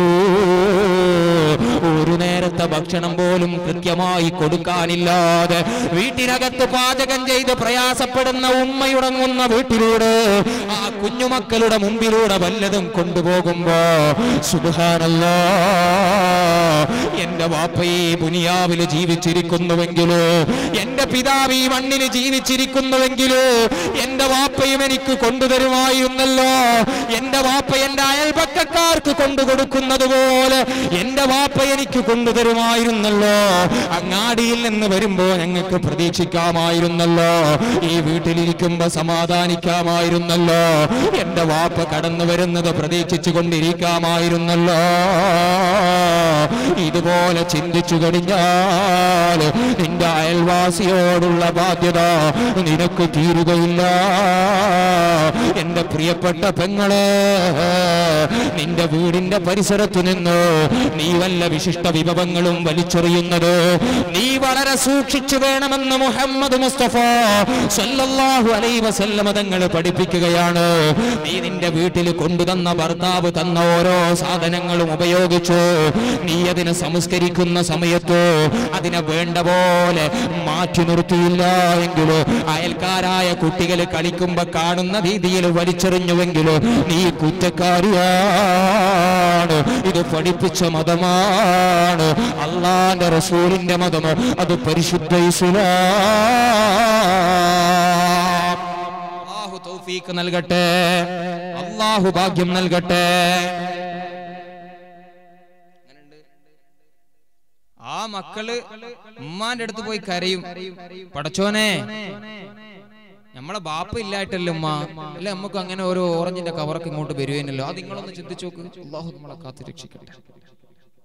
മഹാനായ അലിയാര് തങ്ങൾ ബിവി ഫാത്തിമ റളിയല്ലാഹു അൻഹ അലിയാര് തങ്ങളോട് പറഞ്ഞു ഭക്ഷണ ഇല്ല ഭക്ഷണ ഇല്ല രണ്ട് മൂന്ന് ദിവസമായി ഒന്ന് വയർ നിറച്ചിട്ട് വല്ലാതെ പ്രയാസപ്പെടുകയാണ്. സ്വന്തം ഹസൻ ഹുസൈന് തങ്ങൾ വീട്ടിലിരിക്കുന്ന സമയത്താണ്. ഈ സമയത്ത് മഹാനായ അലിയാർ തങ്ങൾ ഇറങ്ങി. വീട്ടിൽ നിന്ന് ജോലിക്ക്. സ്വന്തം മക്കൾക്ക് എന്തെങ്കിലും ഒന്ന് കൊണ്ടുപോയി കൊടുക്കണമല്ലോ എന്ന് വിചാരിച്ചുകൊണ്ട് അലിയാർ തങ്ങൾ വീട്ടിൽ നിന്നിറങ്ങി. ദിവസങ്ങളായി പട്ടിണി കിടക്കുന്ന പുന്നാര ഭാര്യക്കോ എന്റെ പ്രിയങ്കരായ മക്കൾക്കോ എനിക്ക് വല്ലതും കൊടുക്കണമല്ലോ എന്ന് കരുതിയിട്ടങ്ങ് പോയപ്പോ ഒരു ചെറിയ പാത്രത്തിൽ അല്പം വിഭവം കിട്ടിയിട്ട് തിരിച്ചു വന്നു. വീട്ടിൽ വെച്ചുകൊണ്ട് വിതരണം ചെയ്യുന്ന സമയത്ത് പി ഫാത്തിമ റളിയല്ലാഹു അൻഹ വിതരണം ചെയ്യുമ്പോ യത്തീമായ അയൽവാസി വന്നിട്ട് വാതിലിന് മുട്ടി. ആ വീട്ടിൽ പട്ടിണിയായിരുന്നു. ആ വീട്ടിലെ വിശപ്പ് കാരണം എത്തീമായ അയൽവാസിയുടെ മകന് വന്നിട്ട് വാതിൽ മുട്ടിയിട്ട് പറഞ്ഞു അലിയാറ് തങ്ങൾ അമീറുൽ മുഅ്മിനീൻ. ഞങ്ങളുടെ വീട്ടിൽ പട്ടിണിയാണ്. ഞങ്ങളുടെ പട്ടിണി മാറ്റാം പാപ്പ ലോകത്തില്ല. ഞങ്ങൾ വിശന്നിട്ട് കുറച്ചു കാലമായി. ഞങ്ങൾക്ക് വല്ലതും കടിക്കാനുണ്ടോ? ആരുടെ മുമ്പിൽ ചെന്നിട്ടാ പറയുന്നത്?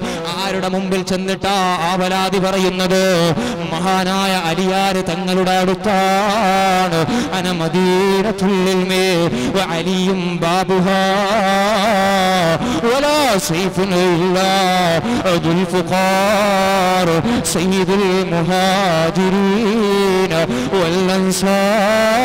والأنصار അലിയാര് തങ്ങളെ കുറിച്ച് അള്ളാന്റെ റസൂല് പഠിപ്പിച്ചില്ലേ ഞാൻ മദീന എന്ന് പറയുന്നു ഞാൻ ഇൽമിന്റെ പട്ടണമാണെങ്കിലോ ആ പട്ടണത്തിലേക്ക് കടന്നു വരാനുള്ള കവാടമാണ്? സയ്യിദുന അലിയുൽ മുർത്തല. ലോകത്തൊരുവാളുമില്ല ഇല്ല.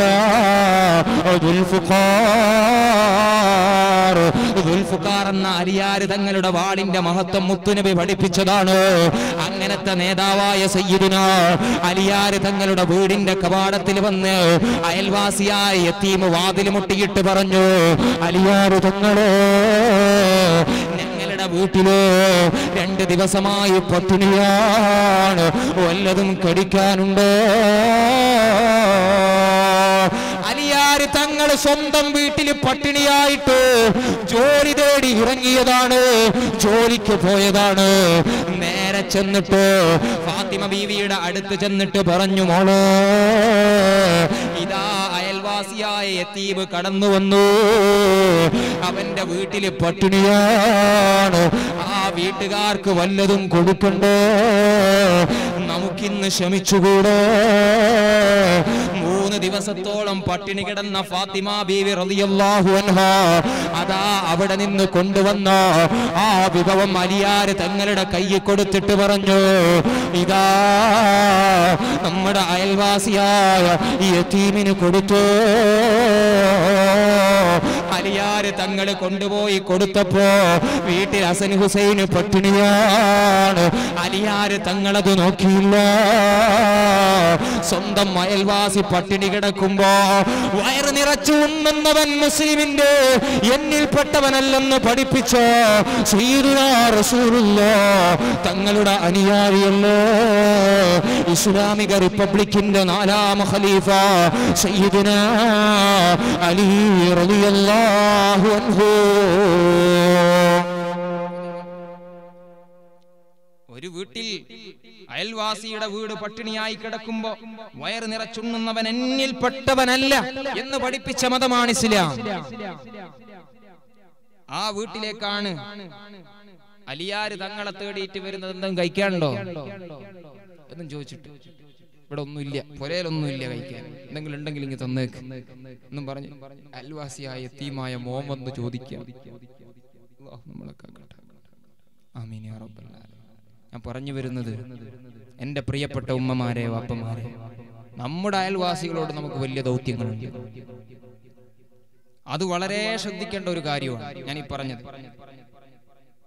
ഒന്ന് നമ്മുടെ വീട്ടിൽ വിഭവ സമൃദ്ധമായ ഭക്ഷണം ഉണ്ടെങ്കിൽ നമ്മളുടെ അയൽക്കാർ അങ്ങനെ ആവണമെന്നില്ല. അതുകൊണ്ട് അയൽക്കാർ നമ്മളുടെ ഭക്ഷണത്തെക്കാൾ കൂടുതലൊന്നും അവർ കടിക്കണം എന്ന് നിർബന്ധമൊന്നുമില്ല. പക്ഷേ നമ്മൾ കടിക്കുന്നതും അവർ കടിച്ചിട്ടില്ല എങ്കിൽ അവർ പട്ടിണിയിലാണെങ്കിൽ അതിന് മറുപടി പറയേണ്ടത് അയൽക്കാർ തന്നെയാണ്. നമ്മളെ കാക്കട്ടെ. അതുകൊണ്ട് നമ്മക്കൾ നമ്മളെ കൊണ്ട് കടിയുന്നത് പോലെ അവരെ പരിചരിക്കണം. അള്ളാഹു തോഫീക്ക് നൽകട്ടെ. അള്ളാഹു തോഫീക്ക് നൽകട്ടെ. നിങ്ങളൊന്ന് സങ്കല്പിച്ചു നോക്ക്. നിങ്ങളൊന്ന് ചിന്തിച്ചു നോക്ക്. നിങ്ങൾ മരിച്ചുപോയ നിങ്ങളുടെ വീട്. നിങ്ങളുടെ മക്കൾ പൊട്ടിക്കരയുന്ന നിങ്ങളുടെ വീട്. ഭാര്യ ജോലിക്ക് പോയി തിരിച്ചു വരുന്നു. ചെറിയ കാശിന് ജീവിതം മുന്നോട്ട് പോകുന്നു.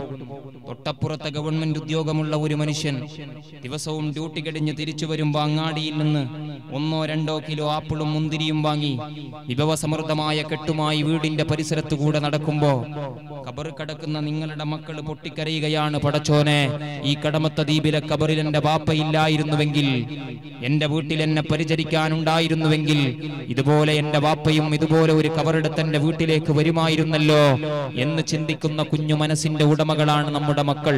അതുകൊണ്ട് അത്തരം ഒരവസ്ഥ അവസ്ഥ നമ്മളുടെ ജീവിതത്തിൽ ഉണ്ടാവരുത്. അള്ളാഹു നമ്മളെ കാത്തു രക്ഷിക്കട്ടെ. അതുകൊണ്ടാ മുത്തനബി പഠിപ്പിച്ചത് നിങ്ങൾ എന്തെങ്കിലും സാധനം വാങ്ങിക്കൊണ്ടു പോകുമ്പോ. നിങ്ങൾ ഒളിപ്പിച്ചു വെച്ച് കൊണ്ടുപോകണം ഓലെ മുമ്പ് കൂടെ കൊണ്ടുപോകരുത് നിങ്ങളെ കൊണ്ട് കഴിയുമെങ്കിൽ നിങ്ങൾ ആ സാധനം നിങ്ങളുടെ വീട്ടുകാർക്ക് വിഹിതം വെച്ച് അതിൽ നിന്നൊരു വിഹിതം അയൽപക്കക്കാരിയുടെ വീട്ടിലേക്ക് എത്തിച്ചു കൊടുക്കാനുള്ള പരിശ്രമമാണ് നിങ്ങൾ നടത്തേണ്ടത്. അള്ളാഹു തൗഫീക്ക് നൽകട്ടെ. രണ്ടാമതോ രണ്ടാമതൊരു അയൽവാസിയോട് ഒരു മുസ്ലിമിനുണ്ടാകേണ്ട രണ്ടാമത്തെ കടപ്പാട്.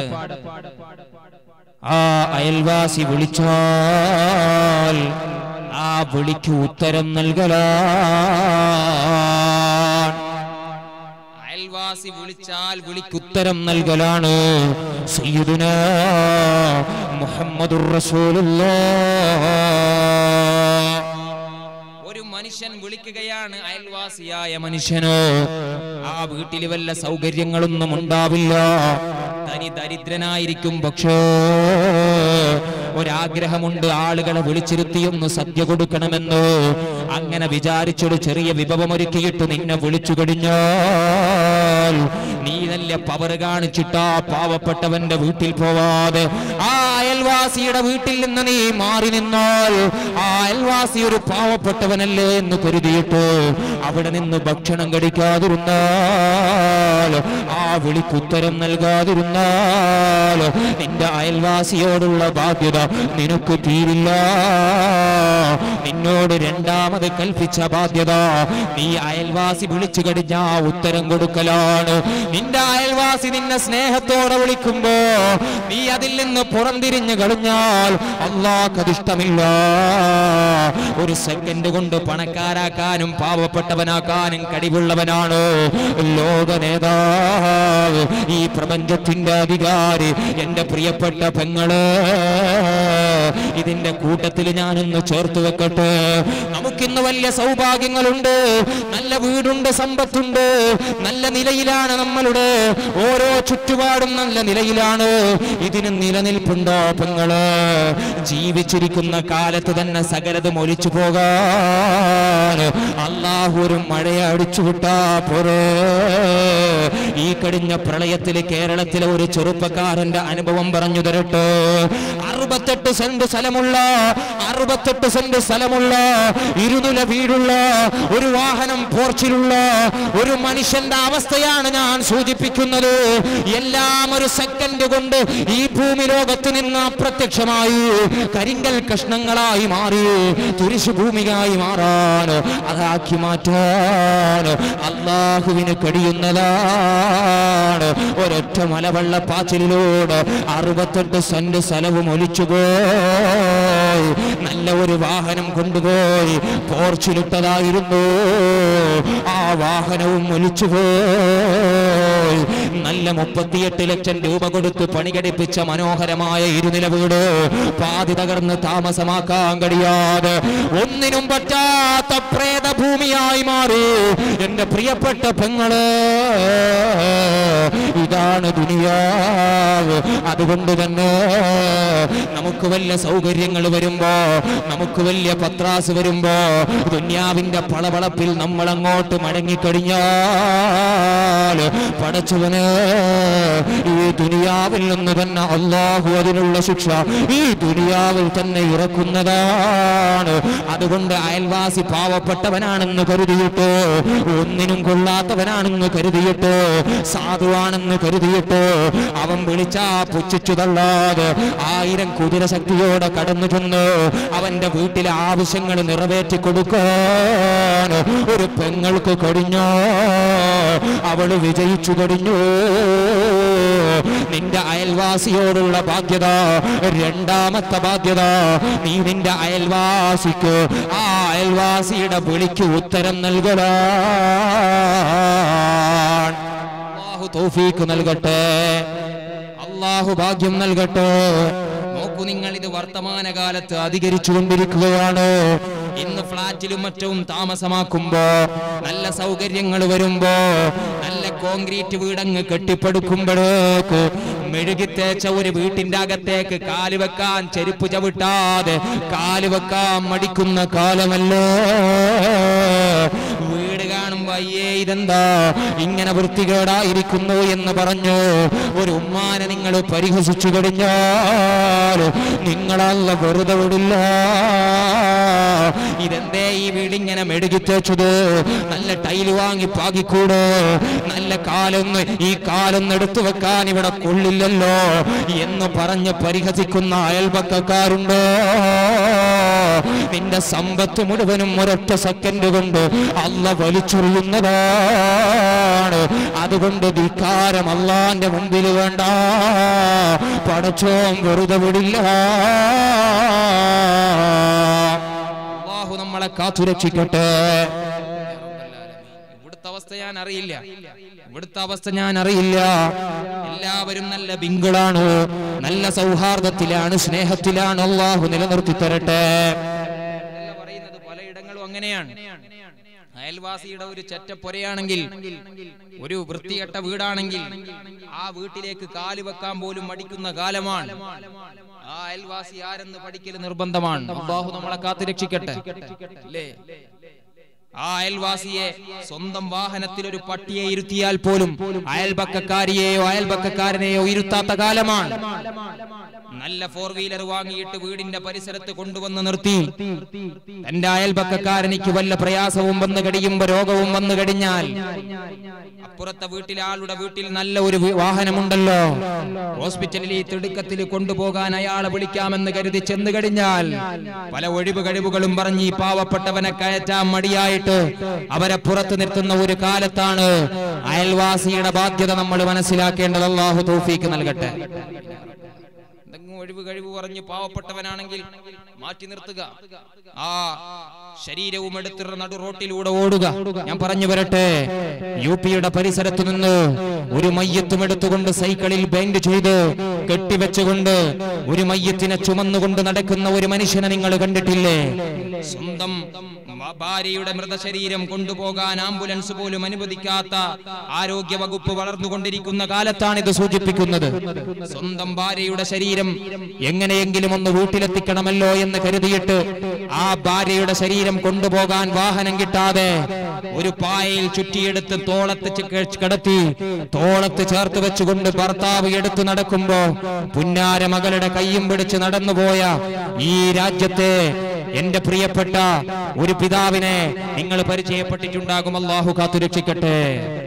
പറഞ്ഞു വരുന്നത് അങ്ങനെ മനുഷ്യർക്കിടയിൽ കുടിലത ഭിന്നത രൂപപ്പെട്ടു കഴിഞ്ഞു. അള്ളാഹു നമ്മളെ കാത്തുരക്ഷിക്കട്ടെ ഇതൊക്കെ നമ്മൾ വായിക്കുന്നവരാണ് കണ്ടവരാണ്. ഞാൻ പറഞ്ഞു വരുന്നത് അങ്ങനെയല്ല നമ്മളാവേണ്ടത്. എന്തെങ്കിലും ഒരു ആവശ്യം അയൽവാസിക്ക് വന്നു കഴിഞ്ഞാൽ ഉടനടി അത് ചെയ്തു കൊടുക്കുക. അതല്ലേ വേണ്ടത്? അവൻ എന്തെങ്കിലും ഒരു ആവശ്യത്തിന് വിളിച്ചു കഴിഞ്ഞാൽ നമ്മൾ അങ്ങോട്ട് പോവുക. ആ വിളിക്ക് ഉത്തരം നൽകുക. അള്ളാഹു തൗഫീഖ് നൽകട്ടെ. അള്ളാഹു ഭാഗ്യം നൽകട്ടെ. മൂന്നാമതായി അള്ളാന്റെ റസൂൽ പഠിപ്പിക്കുകയാണ്. നിങ്ങൾക്കുള്ള ബാധ്യത എന്താണ്? നിങ്ങളുടെ അയൽവാസിയോടുള്ള ബാധ്യത. ഫഇദാ മരിവാ. നിങ്ങളുടെ അയൽവാസിയെ ചെന്ന് കാണണേ.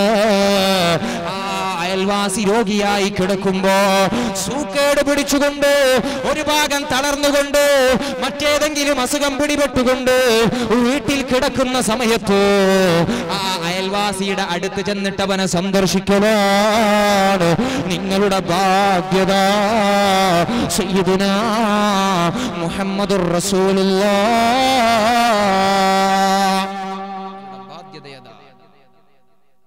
അയൽവാസി രോഗിയാകുമ്പോ അവനെ പോയി ചെന്ന് നോക്കുക.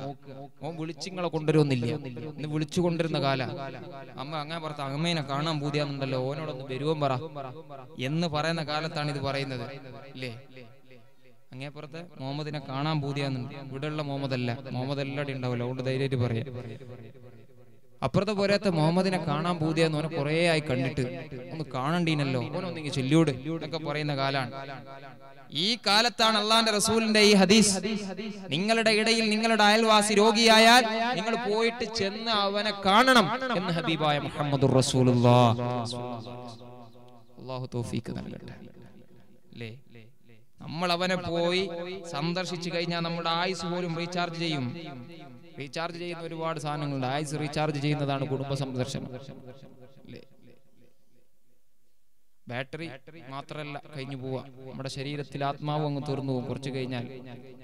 ആ ആത്മാവിനൊന്നും കൂടി ദുനിയാവിൽ നിൽക്കാനുള്ള മരുന്നുകളാണ്. എന്ത്? റീചാർജ് ആണ് എന്ത് കുടുംബക്കാരെ പോയി കാണുക. രോഗികളെ സന്ദർശിക്കുക. ഇതൊക്കെ. ഞാൻ പറഞ്ഞു വരുന്നത് അങ്ങനെ ഒരു രോഗി നമ്മളുടെ പരിസരത്ത് കിടക്കുന്ന സമയത്ത് ആ രോഗിയെ ചെന്ന് പോയി കാണണം. അള്ളാഹു തോഫിക്ക് നൽകട്ടെ. ഇന്നും ഒരുപാട് ആളുകൾ കിടന്നിട്ട് തിരിഞ്ഞു നോക്കാത്ത അയൽവാസികൾ ഉണ്ടാകും തിരിഞ്ഞു നോക്കൂല. അള്ളാഹു നമ്മളെ കാക്കട്ടെ. നിന്റെ ബാധ്യത തീരില്ല. ഹബീബായ അത് ഏടം വരെ. ഒരു അയൽവാസിക്ക് മാത്രം സൂക്കേട് പിടിച്ചാൽ മാത്രല്ല. ആ അയൽവാസിയുടെ വീട്ടിലുള്ള വേറെ ഏതെങ്കിലും ഒരു സാധനത്തിന് സൂക്കേട് പിടിച്ചാൽ പോലും ചെന്ന് നോക്കുന്ന പതിവ് മഹാന്മാർക്കുണ്ടായിരുന്നു. ഉദാഹരണത്തിന് ഇവിടെ ആടുണ്ടല്ലോ. നാട്ടിലെ കാടുണ്ട്. ഈ ആടിന് എന്തെങ്കിലും ഒരു സൂക്കേട് പിടിച്ചാൽ അള്ളാഹു കാക്കട്ടെ. നമ്മുടെ മൃഗങ്ങളിലൊക്കെ അള്ളാഹു ബർക്കത്ത് ചെയ്തു തരാം. ആടിന് വല്ല പ്രയാസവും സംഭവിച്ചാൽ ആ ആടിനെ സന്ദർശിക്കുന്ന ആളുകൾ മുൻകാലത്ത് കഴിഞ്ഞു പോയിട്ടുണ്ട്. മഹാന്മാർ. എന്തിനാ പോകുന്നതെന്നറിയോ ആ ആടിനെ ചെന്ന് നോക്കുന്നത് പഴയ കാലത്തൊക്കെ ഈ ആടിന്റെ പാലെടുത്ത് ജീവിക്കുന്ന ആളുകളാണ്. ആടിന്റെ പാൽ കറന്ന് കുടിച്ച് ജീവിക്കുന്ന ആളുകളാണ്. അപ്പൊ ഈ ആട് സുക്കടായി കിടന്നു കഴിഞ്ഞാൽ ആ വീട്ടുകാര് പട്ടിണിയായി പോവോ? എന്റെ അയൽപക്കക്കാര് പട്ടിണിയായി പോവോ? എന്ന പേടി. മഹാനായ അഴമഷീമാമിന്റെ ആടിന് അസുഖം വന്നു. അങ്ങനെ ഒരു സംഭവം ഉണ്ട് ചരിത്രത്തിൽ. റളിയല്ലാഹുവിന്റെ ആടിന് അസുഖം വന്നു. അപ്പം ഹൈസമാ റളിയല്ലാഹുവിനു കാണാൻ പോയി. അഴമഷീന്റെ ആടിന് സുഖമില്ലാലോ? ഞാനൊന്ന് പോയോക്കട്ടെ. ഞങ്ങൾക്ക് ചിരി വരുന്നുണ്ടോ? ചിരി വരുന്നില്ല? എന്നാ അങ്ങനെ ഉണ്ട് ആമശി മാമിന്റെ ആടിന് സുഖയില്ലല്ലോ അങ്ങേപ്പുറത്തെ ബീബാത്തുവിന് സുഖയില്ല എന്നല്ല പറയുന്നത്. ആമശി മാമിന്റെ ആടിന് സുഖയില്ലല്ലോ ഞാനൊന്ന് പോയോക്കട്ടെ. ആര്? സയ്യിദുനാ വൈസമൃതി റളിയല്ലാഹു അൻഹു. അങ്ങനെ ഐസും റളിയല്ലാഹു അൻഹു കാണാൻ ചെന്നപ്പോ ഈ ആട് സൂക്കേടായി കിടക്കുന്നത് കണ്ടപ്പോ അതാ മഹാനവറുകൾ ചിന്തിക്കുകയാണ് പടച്ചവനെ ഈ വീട്ടിൽ എന്റെ അയൽവക്കക്കാരായ മക്കൾ എന്ത് ചെയ്യും പടച്ചോന് ഇവിടുത്തെ വരുമാന മാർഗമല്ല? ഈ ആടിന്റെ പാൽ ഈ ആടിനെ സൂക്കേട് പിടിച്ചിവിടെ കിടന്നു കഴിഞ്ഞോ അവിടുത്തെ മക്കൾക്ക് കുടിക്കാം പാലെവിടെയോ അവിടെ എങ്ങനെയാണ് സാമ്പത്തികമായുള്ള പുരോഗതി ഉണ്ടാകുക? ഈ ആമശീമാമിന്റെ വീട്ടിൽ എങ്ങനെയാണ് പട്ടിണി മാറുക? വൈസമൃതിയല്ല മഹാനവറുകൾ ആ വീട് സന്ദർശിച്ചു. ആ വീട്ടുകാരനെ സന്ദർശിച്ചു തിരിച്ചു പോരുമ്പോ ആ വീടിന്റെ തലയണയുടെ ചുവട്ടിലേക്ക് നാണയത്തൊട്ടുകൾ ഇങ്ങനെ വെച്ചിട്ടാണ് തിരിച്ചു പോരാറുള്ളത്. ദിവസവും അങ്ങനെ പോവാറുണ്ട്. ഓരോ ദിവസവും രാവിലെയാകുമ്പോ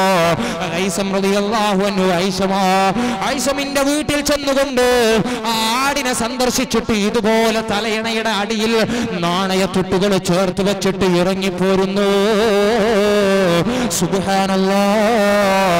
അങ്ങനെ ദിവസങ്ങൾ അങ്ങനെ തുടർന്നു പോയപ്പോ ആടിന്റെ അസുഖം മാറിയപ്പോ ആടിന്റെ സൂക്കേട് മാറിയപ്പോ മഹാനായ വൈസം റളിയല്ലാഹു അൻഹു മഹാനവറുകൾ വരവ് നിർത്തി. ഒരു ദിവസം മാമശീമാമ തന്റെ വീട്ടിലെ വിരിപ്പ് വൃത്തിയാക്കുമ്പോ തലയിണയുടെ ഉള്ളിൽ നിന്ന് മുന്നൂറിലധികം പൊന്നിങ്ങി കിട്ടൂ. മുന്നൂറിലധികം പൊന്ന് കിട്ടിയപ്പോ മഹാനവറുകൾ ചിന്തിക്കുകയാണ് പടച്ചോന് എന്റെ ആടിന്റെ സൂക്കേട് അസുഖം മാറണ്ടായിരുന്നു. എന്റെ ആടിന്റെ സൂക്കേട് മാറണ്ടായിരുന്നു. മുന്നൂറിലധികം പൊന്നാണ് എനിക്ക് കിട്ടിയത്. എന്റെ കൂട്ടുകാരനും അയൽവാസിയുമായ കൈസമന്റെ വീട്ടിൽ വന്നപ്പോ എന്റെ ആടിനെ കാണാൻ വന്നപ്പോ എന്റെ മക്കൾ പട്ടിണിയാകുമോ എന്ന് പേടിച്ചുകൊണ്ട് ദിവസവും വെച്ചിരുന്ന നാണയത്തൊട്ടുകൾ ശേഖരിച്ച് കൂട്ടി നോക്കുമ്പോ അത് മുന്നൂറിലധികമുണ്ട്.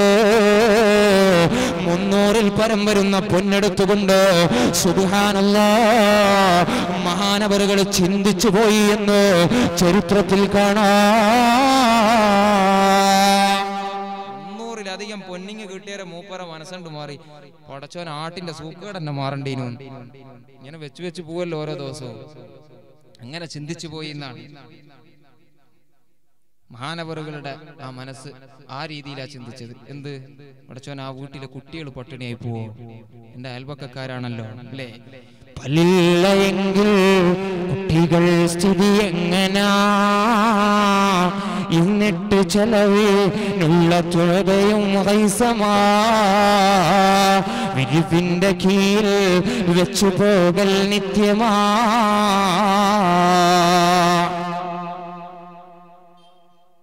പാലില്ലെങ്കിൽ കുട്ടികളുടെ അവസ്ഥ എന്താ? ആടിന് സുഖയിൽ എന്താ ചെയ്യാ? എന്നിട്ട് അതിന്റെ പൈസ കട്ടിന്റെ ചോട്ടിൽ വെച്ച് പോവുകയും ചെയ്യും. ആര്. അതാണ്. അത് നമുക്ക് നൽകുന്ന സന്ദേശം എന്താ? നമ്മുടെ അയൽവാസി പ്രയാസപ്പെട്ട് കിടക്കുന്ന സമയത്ത് ആ വീട്ടിൽ പോവാ. അവനെ സന്ദർശിക്കുക. വലിയ ഉത്തരവാദിത്തം അവിടെ കഴിഞ്ഞു.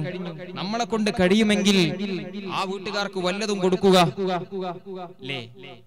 കടലിൽ പോകാൻ കഴിയാതെ മത്സ്യബന്ധനത്തിന് പോകാൻ കഴിയാതെ വല്ല അപകടവും പറ്റി വീട്ടിൽ കിടക്കുന്ന അള്ളാഹു കാക്കട്ടെ.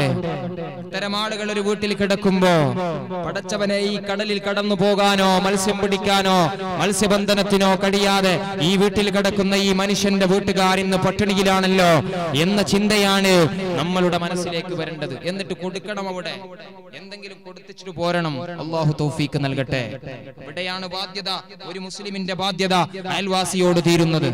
നാലാമത്തെ ബാധ്യത മഹാനായ റസൂലുള്ളാഹി സ്വല്ലല്ലാഹു അലൈഹി വസല്ലമ തങ്ങളെ പഠിപ്പിച്ചത്.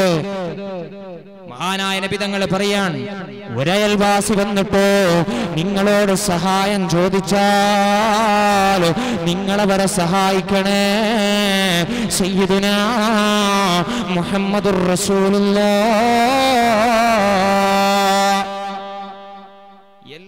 എല്ലാം പറഞ്ഞു തന്ന മതമാണ് ഇസ്ലാം.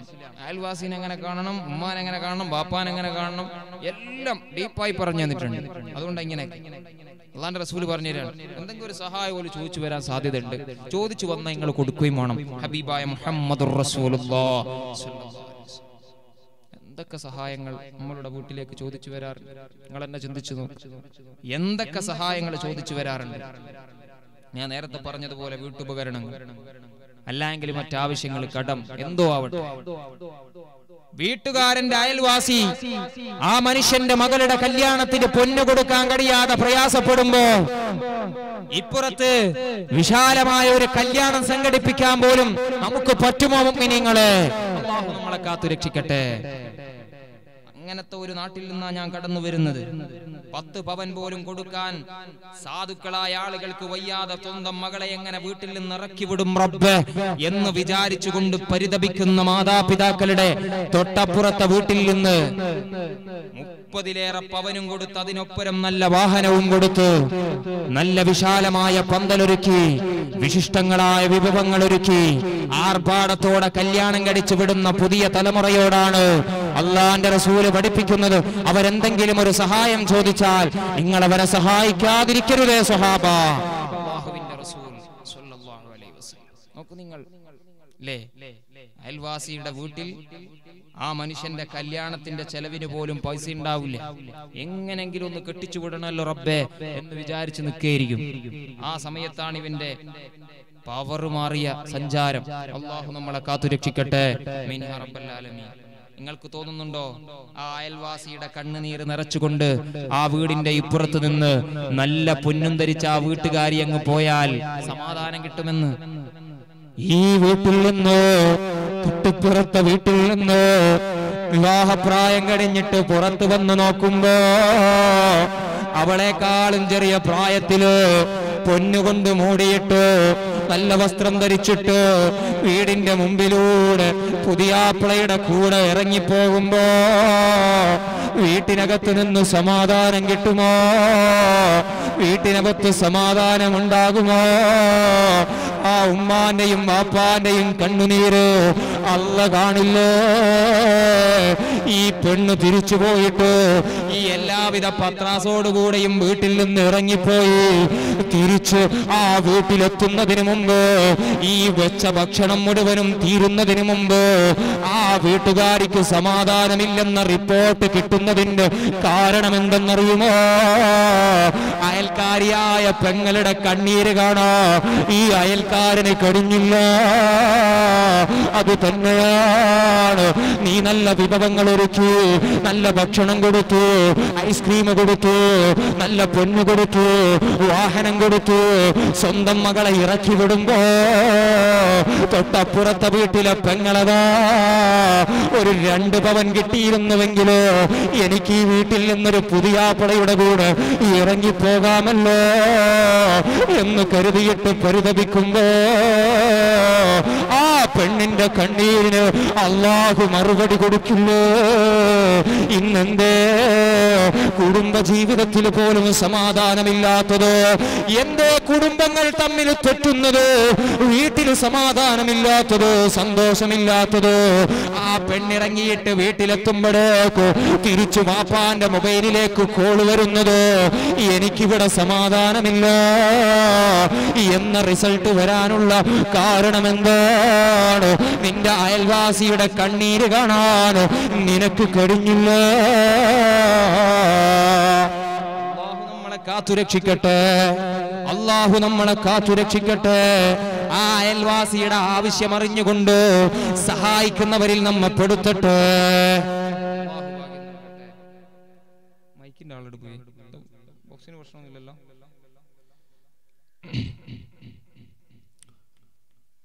അള്ളാഹു നാലാമത്തെ ബാധ്യത ഏതാണ്? ചോദിച്ചാൽ അയൽവാസിയെ സഹായിക്കുക. നാലാമത്തെ ബാധ്യത. ഓനെന്തെങ്കിലും ആവശ്യം വന്ന് പറയുമ്പോ സഹായിച്ചു കൊടുക്കുക. അഞ്ചാമത്തെ ബാധ്യത ഹബീബായ നബി തങ്ങൾ പഠിപ്പിക്കുന്നത്. ഒരു മുസീബത്ത് അവനിക്ക് വന്നു കഴിഞ്ഞാൽ അവനെ സമാശ്വസിപ്പിക്കുക. അവനെ സമാശ്വസിപ്പിക്കുക. സമയം ഏകദേശം ആയിക്കൊണ്ടിരിക്കുകയാണ്. ഇത് പൂർത്തിയാക്കി തരാം. അഞ്ചാമത്തെ ബാധ്യത ഒരു മുസീബത്ത് അയൽവാസിക്ക് വന്നു കഴിഞ്ഞാൽ ആ അയൽവാസിയെ സമാശ്വസിപ്പിക്കുക സയ്യിദുനാ റസൂലുള്ളാഹി സ്വല്ലല്ലാഹു അലൈഹി മുസീബത്ത് എന്തെങ്കിലും ഒരു ഇടങ്ങാറ് ഒരു രോഗം അയൽവാസിക്ക് വന്നു കഴിഞ്ഞാൽ ആ അയൽവാസിയുടെ അടുത്ത് ചെന്നിട്ട് അവനെ സമാധാനിപ്പിക്കും അവനെ സന്തോഷിപ്പിക്കും. നീ കാര്യമാക്കണ്ട. അത് അള്ളാഹു തരുന്നതാണ്. അള്ളാഹുവിന്റെ എന്തെങ്കിലും ഒരു ഹൈറതിലുണ്ടാകും എന്നൊക്കെ പറഞ്ഞ് അവനെ ഇങ്ങനെ സമാധാനിപ്പിച്ചു കൊടുക്കുക. എന്നാണ് ഹബീബ നബി തങ്ങൾ പറയുന്നത്. അവനെ സമാശ്വസിപ്പിക്കുക. എന്തെങ്കിലും ഒരു മുസീബത്ത് എനിക്ക് പിടിപെട്ടാൽ. അല്ലേ? ചില ആളുകൾ അയൽവാസിയുടെ വീട്ടിൽ ചെന്നിട്ട് ആ മുസീബത്തിനേക്കാളും വലിയ മുസീബത്തായിരിക്കും ഇവനങ്ങ് പോന്നത്. കാരണം അയറ്റാ വർത്താനായിരിക്കും അവൻ അവിടെ പോയിട്ട് പറയാ. കാലായിരിക്കും ഒടിഞ്ഞിട്ടുണ്ടാവും. ഖബറിലേക്ക് എടുക്കുന്ന വർത്താന പറയാ. അല്ലേ? അള്ളാഹു നമ്മളെ കാക്കട്ടെ. റബ്ബൽ ആലമീൻ. അല്ലേ?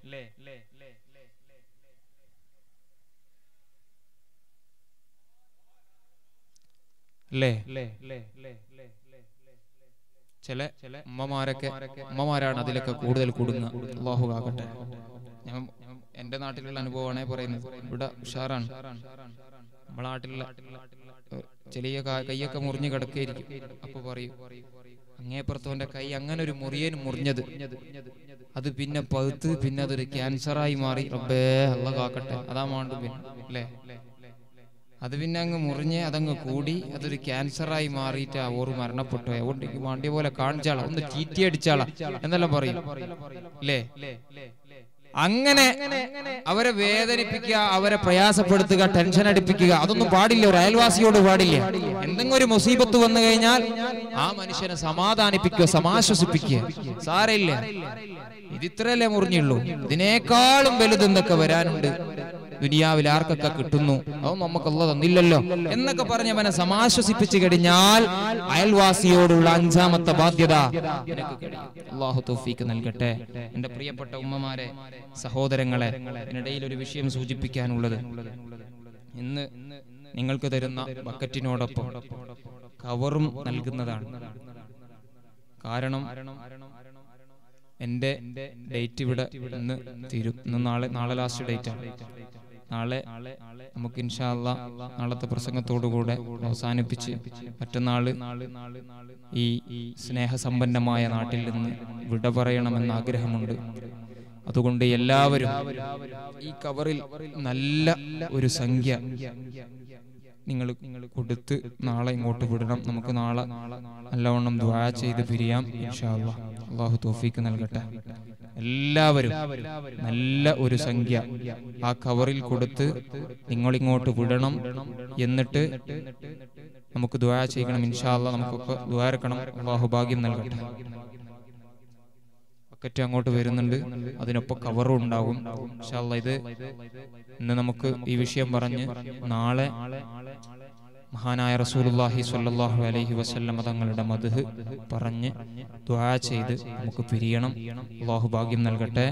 ഇൻഷാ ഞാൻ എന്റെ വിഷയത്തിലേക്ക് കടക്കുകയാണ്. അതുകൊണ്ട് അതുകൊണ്ട് എല്ലാവരും ഇതുമായി നല്ലവണ്ണം സഹകരിക്കുക. അള്ളാഹു തോഫീക്ക് നൽകട്ടെ. ഞാൻ ഇതും കൂടി പറഞ്ഞ് അവസാനിപ്പിക്കാം. ആറാമത്തെ ഏഴാമത്തെ ബാധ്യത ഒരു അയൽവാസിയോടുള്ള ഏഴാമത്തെ ബാധ്യത ഒരു മുസ്ലിമിന് എന്താണെന്നറിയോ? മഹാനായ റസൂലുള്ളാഹി സ്വല്ലല്ലാഹു അലൈഹി വസല്ലമ തങ്ങൾ പഠിപ്പിക്കുകയാണ്. അവനിക്ക് ഹൈറിന് വേണ്ടി പ്രാർത്ഥിക്കലാണ്. ഒരു അയൽവാസിയുടെ ഹൈറിന് വേണ്ടി ദുആ ചെയ്യ. നമ്മുടെ വീട്ടിലിരുന്നു കൊണ്ട്. ഞാൻ വളരുന്നത് പോലെ തന്നെ എന്റെ അയൽവാസിയും റാഹത്തായി സന്തോഷത്തോടുകൂടെ വളരണം റബ്ബേ. അവന്റെ ഹൈറ് എനിക്ക് കാണാൻ ആഗ്രഹമുണ്ട് റബ്ബെ എന്ന് പറഞ്ഞ അയൽവാസിയുടെ ഹൈറിന് വേണ്ടി ദുആ ചെയ്യണം. അള്ളാഹു തൗഫീക്ക് നൽകട്ടെ. ഏഴാമത്തെ ബാധ്യതയാണ്. ഇന്ന് പരസ്പരം അസൂയയും കുശുമ്പും വർദ്ധിച്ചുകൊണ്ടിരിക്കുകയാണ്? അയൽവാസിയുടെ വളർച്ച കണ്ണ് കാണാൻ കഴിയാത്ത ആളുകൾ. അതിന്റെ പേരിൽ അവരുടെ തകർച്ച സ്വപ്നം കണ്ടുകൊണ്ട് അവരെ ഈ ഭൂമി ലോകത്ത് നിന്ന് താഴ്ത്താൻ വേണ്ടിയുള്ള സകല പരിശ്രമങ്ങളും നടത്തിക്കൊണ്ടിരിക്കുന്ന ആളുകൾ വർദ്ധിച്ചു വരികയാണ്. അള്ളാഹു നമ്മളെ കാത്തുരക്ഷിക്കട്ടെ. എന്താ? അവർക്കെതിരെ കണ്ണ് വെക്കുക സിഹിർ ചെയ്യുക അങ്ങനത്തെ ഒരു കാലം. അയൽവാസികളുടെ വളർച്ചയിൽ നമ്മൾ അസൂയ വെച്ചുകൊണ്ട് സിഹിർ ചെയ്യുന്ന കാലം പോലും ഇന്ന് അതിക്രമിച്ചു കഴിഞ്ഞു. അള്ളാഹു നമ്മളെ കാത്തുരക്ഷിക്കട്ടെ. ഇവിടെ അങ്ങനെ ഒന്നും ഉണ്ടാവില്ല പല സ്ഥലങ്ങളും അങ്ങനെ മാറി. അള്ളാഹു നമ്മളെ കാത്തുരക്ഷിക്കട്ടെ. ഒരാളുടെയും ഉയർച്ച കാണാൻ കഴിയാത്ത വിധത്തിൽ അവന്റെ മേന്മ കാണാൻ കഴിയാത്ത വിധത്തിൽ അസൂയ പൂണ്ടുകൊണ്ട് അവനെ എങ്ങനെയെങ്കിലും താഴ്ത്തണമല്ലോ എന്ന ലക്ഷ്യത്തോടുകൂടെ നീങ്ങുന്ന അയൽവാസികൾ ഇവിടെയാണ് അള്ളാന്റെ റസൂൽ പഠിപ്പിക്കുന്നത് സുഹാബ. നിങ്ങൾ അയൽവാസിയുടെ ഹൈറിന് വേണ്ടി ദുആ ചെയ്യണേ. അഷ്റഫുൽ വറാ. മുഹമ്മദ് മുസ്തഫ. അയൽവാസി വല്ല പ്രയാസവും അനുഭവിക്കുമ്പോ അയൽവാസി വല്ല ബുദ്ധിമുട്ടും നേരിടുമ്പോ അയൽവാസി വല്ല ബിസിനസ്സിലും വിജയിക്കുമ്പോ അവന്റെ ഹൈറിന് വേണ്ടി ദുആ ചെയ്തോ? അവന്റെ ഹൈറിന് വേണ്ടി ദുആ ചെയ്യാൻ ഓർഡറുള്ളത് ലോകൈക ഗുരു മുഹമ്മദ് മുസ്തഫ. അള്ളാന്റെ റസൂലിന്റെ ഭാഗത്തു നിന്നാണ്. അള്ളാന്റെ റസൂലാണ് പഠിപ്പിക്കുന്നത്. നിങ്ങൾ ദുആ ചെയ്യുമ്പോ അയൽവാസിക്ക് വേണ്ടി ഹൈറിന് വേണ്ടി ദുആ ചെയ്യണേ. അത് നിങ്ങൾക്കുള്ള ഏഴാമത്തെ കൽപ്പനയാണ്. നിങ്ങളുടെ അയൽവാസിയോടുള്ള ബാധ്യതയാണ്. സയ്യിദുന മുഹമ്മദുർ റസൂലുള്ളാഹ് എട്ടാമത്തെ ബാധ്യത അള്ളാന്റെ റസൂൽ പഠിപ്പിക്കുകയാണ് പെങ്ങൾ. എന്റെ പ്രിയപ്പെട്ട വാപ്പമാര് വീട്ടുകാരനില്ലാത്തപ്പോ ആ വീട്ടുകാരെ നോക്കണേ. ആ അപ്പുറത്തെ അയൽക്കാരൻ വല്ല വിദേശത്തും പോയി കഴിഞ്ഞോ? അതല്ലെങ്കിൽ കുറച്ചു ദിവസത്തെ യാത്രയ്ക്ക് വേണ്ടി ഇറങ്ങി പുറപ്പെട്ടോ? ഒരു കണ്ണാ വീട്ടിലേക്ക് വേണേ. ആ മക്കളെ നോക്കണേ. സയ്യിദുന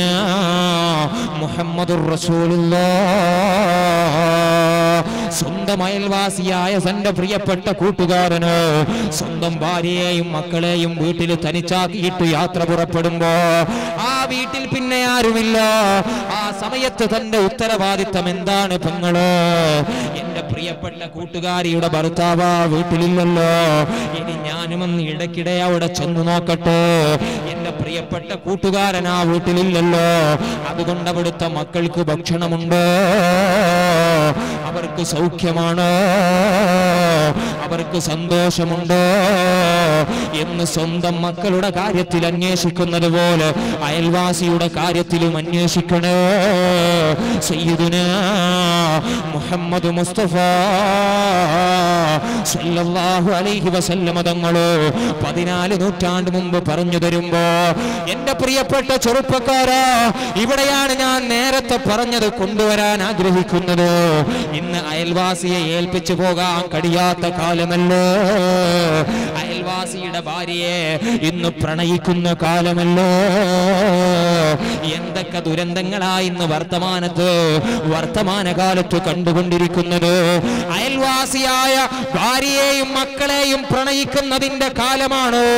ഉമ്മയെ പോലെ കാണണമെന്ന് കൽപ്പിച്ച സ്വന്തം അയൽവാസിയുടെ മുഖത്തേക്ക് കാമക്കണ്ണോടെ നോക്കുന്ന കാലമാണ്. ഈ കാലത്തല്ലേ പുന്നാര നബിതങ്ങളുടെ ഉപദേശം. നിങ്ങൾ നിങ്ങളുടെ വീടിൽ നിങ്ങളുടെ വീടിന്റെ പരിസരത്തുള്ള നിങ്ങളുടെ അയൽവാസികളായ വീട്ടുകാരെ ശ്രദ്ധിക്കണേ. ആ വീട്ടുകാരെ ശ്രദ്ധിക്കുന്നതിന് പകരം അവർക്ക് ദുരന്തം വരുത്തി വെക്കുന്ന പ്രവർത്തനങ്ങൾ വർത്തമാനകാലത്ത് അധികരിച്ചു കൊണ്ടിരിക്കുമ്പോ എന്റെ പ്രിയപ്പെട്ട ചെറുപ്പക്കാരോ പതിനാല് നൂറ്റാണ്ട് മുമ്പ് അള്ളാന്റെ റസൂൽ പഠിപ്പിക്കുകയാണ്. ഇത് വെറുതെ പറഞ്ഞതല്ലല്ലോ. നിങ്ങളൊരു പെണ്ണിനെ വ്യഭിചരിച്ചോ? നിങ്ങളൊരു പെണ്ണിനെ വ്യഭിചരിച്ചോ? നിങ്ങൾക്ക് ആ വ്യഭിചാരത്തിന്റെ കുറ്റമേ ലഭിക്കുകയുള്ളൂ അത് നിസ്സാരമായ തെറ്റല്ല. അത് നിസ്സാരമായ കുറ്റവുമല്ല. എന്നാലും അള്ളാന്റെ റസൂലിന്റെ പ്രയോഗം നോക്കണേ. ഒരാളൊരു പെണ്ണിനെ വ്യഭിചരിച്ചു കഴിഞ്ഞോ ആ വ്യഭിചാരത്തിന്റെ കുറ്റം ലഭിക്കുമെങ്കിലോ അയൽക്കാരിയായ പെണ്ണിന് ഒരാൾ വ്യഭിചരിച്ചു കഴിഞ്ഞാൽ സുബ്ഹാനല്ലാ നീ പത്ത് പെണ്ണിനെ വ്യഭിചരിച്ചതിന് തുല്യമാണെന്ന് അഷ്റഫുൽ സയ്യിദുൽ കൗനൈൻ അഷ്റഫുൽ വറാ മുഹമ്മദ് മുസ്തഫ സല്ലല്ലാഹു അലൈഹി വസല്ലമ തങ്ങൾ വളരെ കൃത്യമായി അവതരിപ്പിച്ചു തരുമ്പോ എന്റെ പ്രിയപ്പെട്ട കടമത്തുദ്വീപിലെ ചെറുപ്പക്കാരാ നമുക്ക് ഓരോരുത്തരും അയൽവാസികളാണ്. നമ്മളുടെ ഉമ്മയെ പോലെ കാണേണ്ടവരാണ്. നമ്മളുടെ പെങ്ങളെ പോലെ കാണേണ്ടവരാണ്. അവർ നമ്മളുടെ വീട്ടുകാരെ പോലെയാണ് അവർ നമ്മളുടെ വീട്ടിൽ അവർ നമ്മുടെ വീടിന്റെ പരിസരത്ത് താമസമാക്കുമ്പോ ആ അയൽവാസിയോടുള്ള ബാധ്യത മറന്നുകൊണ്ട് ഒരു പ്രവർത്തനത്തിലും ഏർപ്പെടല്ലേ? അങ്ങനത്തവർ ഈ കടമത്ത് ദ്വീപിലുണ്ടെന്നല്ല ഞാൻ പറയുന്നത്. പിന്നീടൊരു കാലത്ത് അതിനുള്ള സൗകര്യം ലഭിച്ചു കഴിഞ്ഞാൽ ആ വടിക്ക് പോകല്ലേ? ഇന്ന് വല്ലാത്ത ദുരന്തങ്ങൾ കേട്ടുകൊണ്ടിരിക്കുന്ന കാലമാ. അയൽവാസികൾ പീഡിപ്പിക്കപ്പെടുന്ന കാലമാ. അയൽവാസികൾ പരസ്പരം വേദനിക്കുന്ന കാലമാ. അയൽക്കാരന്റെ കാമക്കണ്ണിൽ നിന്ന് രക്ഷ വീട് വിട്ടു പോകുന്ന കാലമാണ്. ഒരു കാമുകന്റെ പേരിൽ അയൽക്കാരനായ കാമുകന്റെ പേരിൽ സ്വന്തം മകളെ രക്ഷപ്പെടുത്താം. ബാപ്പു പ്രിയപ്പെട്ട ബാപ്പ ആ വീട് വിട്ടുകൊണ്ട് വാടകക്ക് പോകുന്ന കാലത്താണ് അള്ളാന്റെ റസൂൽ പഠിപ്പിക്കുന്നത്. നിങ്ങളാ അയൽവാസിയുടെ ഗൃഹനാഥൻ വീട്ടിനില്ല എങ്കിൽ ആ അയൽവാസിയുടെ ഉത്തരവാദിത്വം അത് നിങ്ങളെ കയ്യിലാണ്. നിങ്ങളവരെ വേദനിപ്പിക്കല്ലോ? നിങ്ങളവരുടെ ഹൈറിന് വേണ്ടി പ്രാർത്ഥിക്കണേ. അവിടെ രോഗിയാണെങ്കിൽ ചൊന്നു നോക്കണേ. അവർക്ക് പ്രയാസമുണ്ടെങ്കിൽ സമാശ്വസിപ്പിക്കണേ അവരുടെ അടുത്ത് ചെന്നുകൊണ്ട് നിങ്ങൾ അവരെ സന്തോഷിപ്പിക്കണേ എന്ന് പഠിപ്പിച്ചു തന്ന മതമാണ് പരിശുദ്ധമായ എന്റെ പ്രിയപ്പെട്ട പെങ്ങൾ മറ്റൊരു കാര്യം കൂടി ഇതിന്റെ കൂടെ ഞാൻ ചേർത്ത് വെക്കുകയാണ്. സമയമില്ലാത്തത് കൊണ്ട് ഞാൻ പറഞ്ഞു തരട്ടെ പെങ്ങൾ നമ്മളൊരു കാര്യം മനസ്സിലാക്കേണ്ടത് ഓരോ അർത്ഥത്തിലും അയൽവാസി ഒന്നിനൊന്ന് മെച്ചമുള്ളവരാണ് എന്നാൽ നമ്മൾ മോഷണം നടത്തുന്നുവെങ്കിലോ? നേരത്തെ വ്യഭിചാരത്തെ കുറിച്ച് പറഞ്ഞല്ലോ. ആ വ്യഭിചാരത്തിന് അയൽവാർ അയൽപക്കക്കാരിയോട് വ്യഭിചരിച്ച പത്തിരട്ടി കുറ്റം കിട്ടുമെന്ന് പഠിപ്പിച്ച പരിശുദ്ധ ഇസ്ലാം അതേപോലെ മറ്റൊരു കാര്യം സൂചിപ്പിക്കുന്നുണ്ട്. നിങ്ങളെങ്ങാനും അയൽവാസിയുടെ എന്തെങ്കിലും ഒന്ന് മോഷ്ടിച്ചാൽ അതിന്റെ ഇരട്ടി കുറ്റം നിങ്ങൾക്ക് കിട്ടുമെന്ന് അഷറഫുൽ വറ ത്വഹ റസൂലുള്ളാഹ്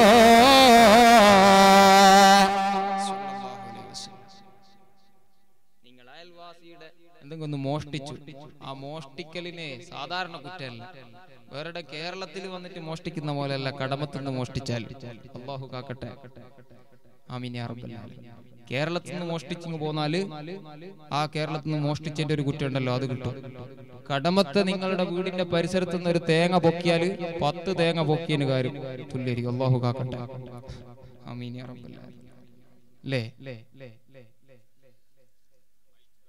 മഹാനായ ഒരു ബനു ഇസ്രായേൽപ്പെട്ട ഒരു കോയിനെ അടിച്ചു മാറ്റിയ ഒരു കഥ കോയി. അറിയോ? അറിയോ? അറിയോ? അറിയെങ്കിൽ നമുക്ക് പറയണ്ട നമുക്ക് വേറെ പറയാം. ഇല്ല. എന്നാ പറഞ്ഞേ? ബനു ഇസ്രായേലിൽ പെട്ടിട്ടുള്ള ഒരു പെണ്ണ് കോയിനെ മോഷ്ടിച്ചു. കോയിനെ പൊക്കി കൊണ്ടുപോയി നല്ലോണം പൊരിച്ചണ്ട് അടിച്ച്.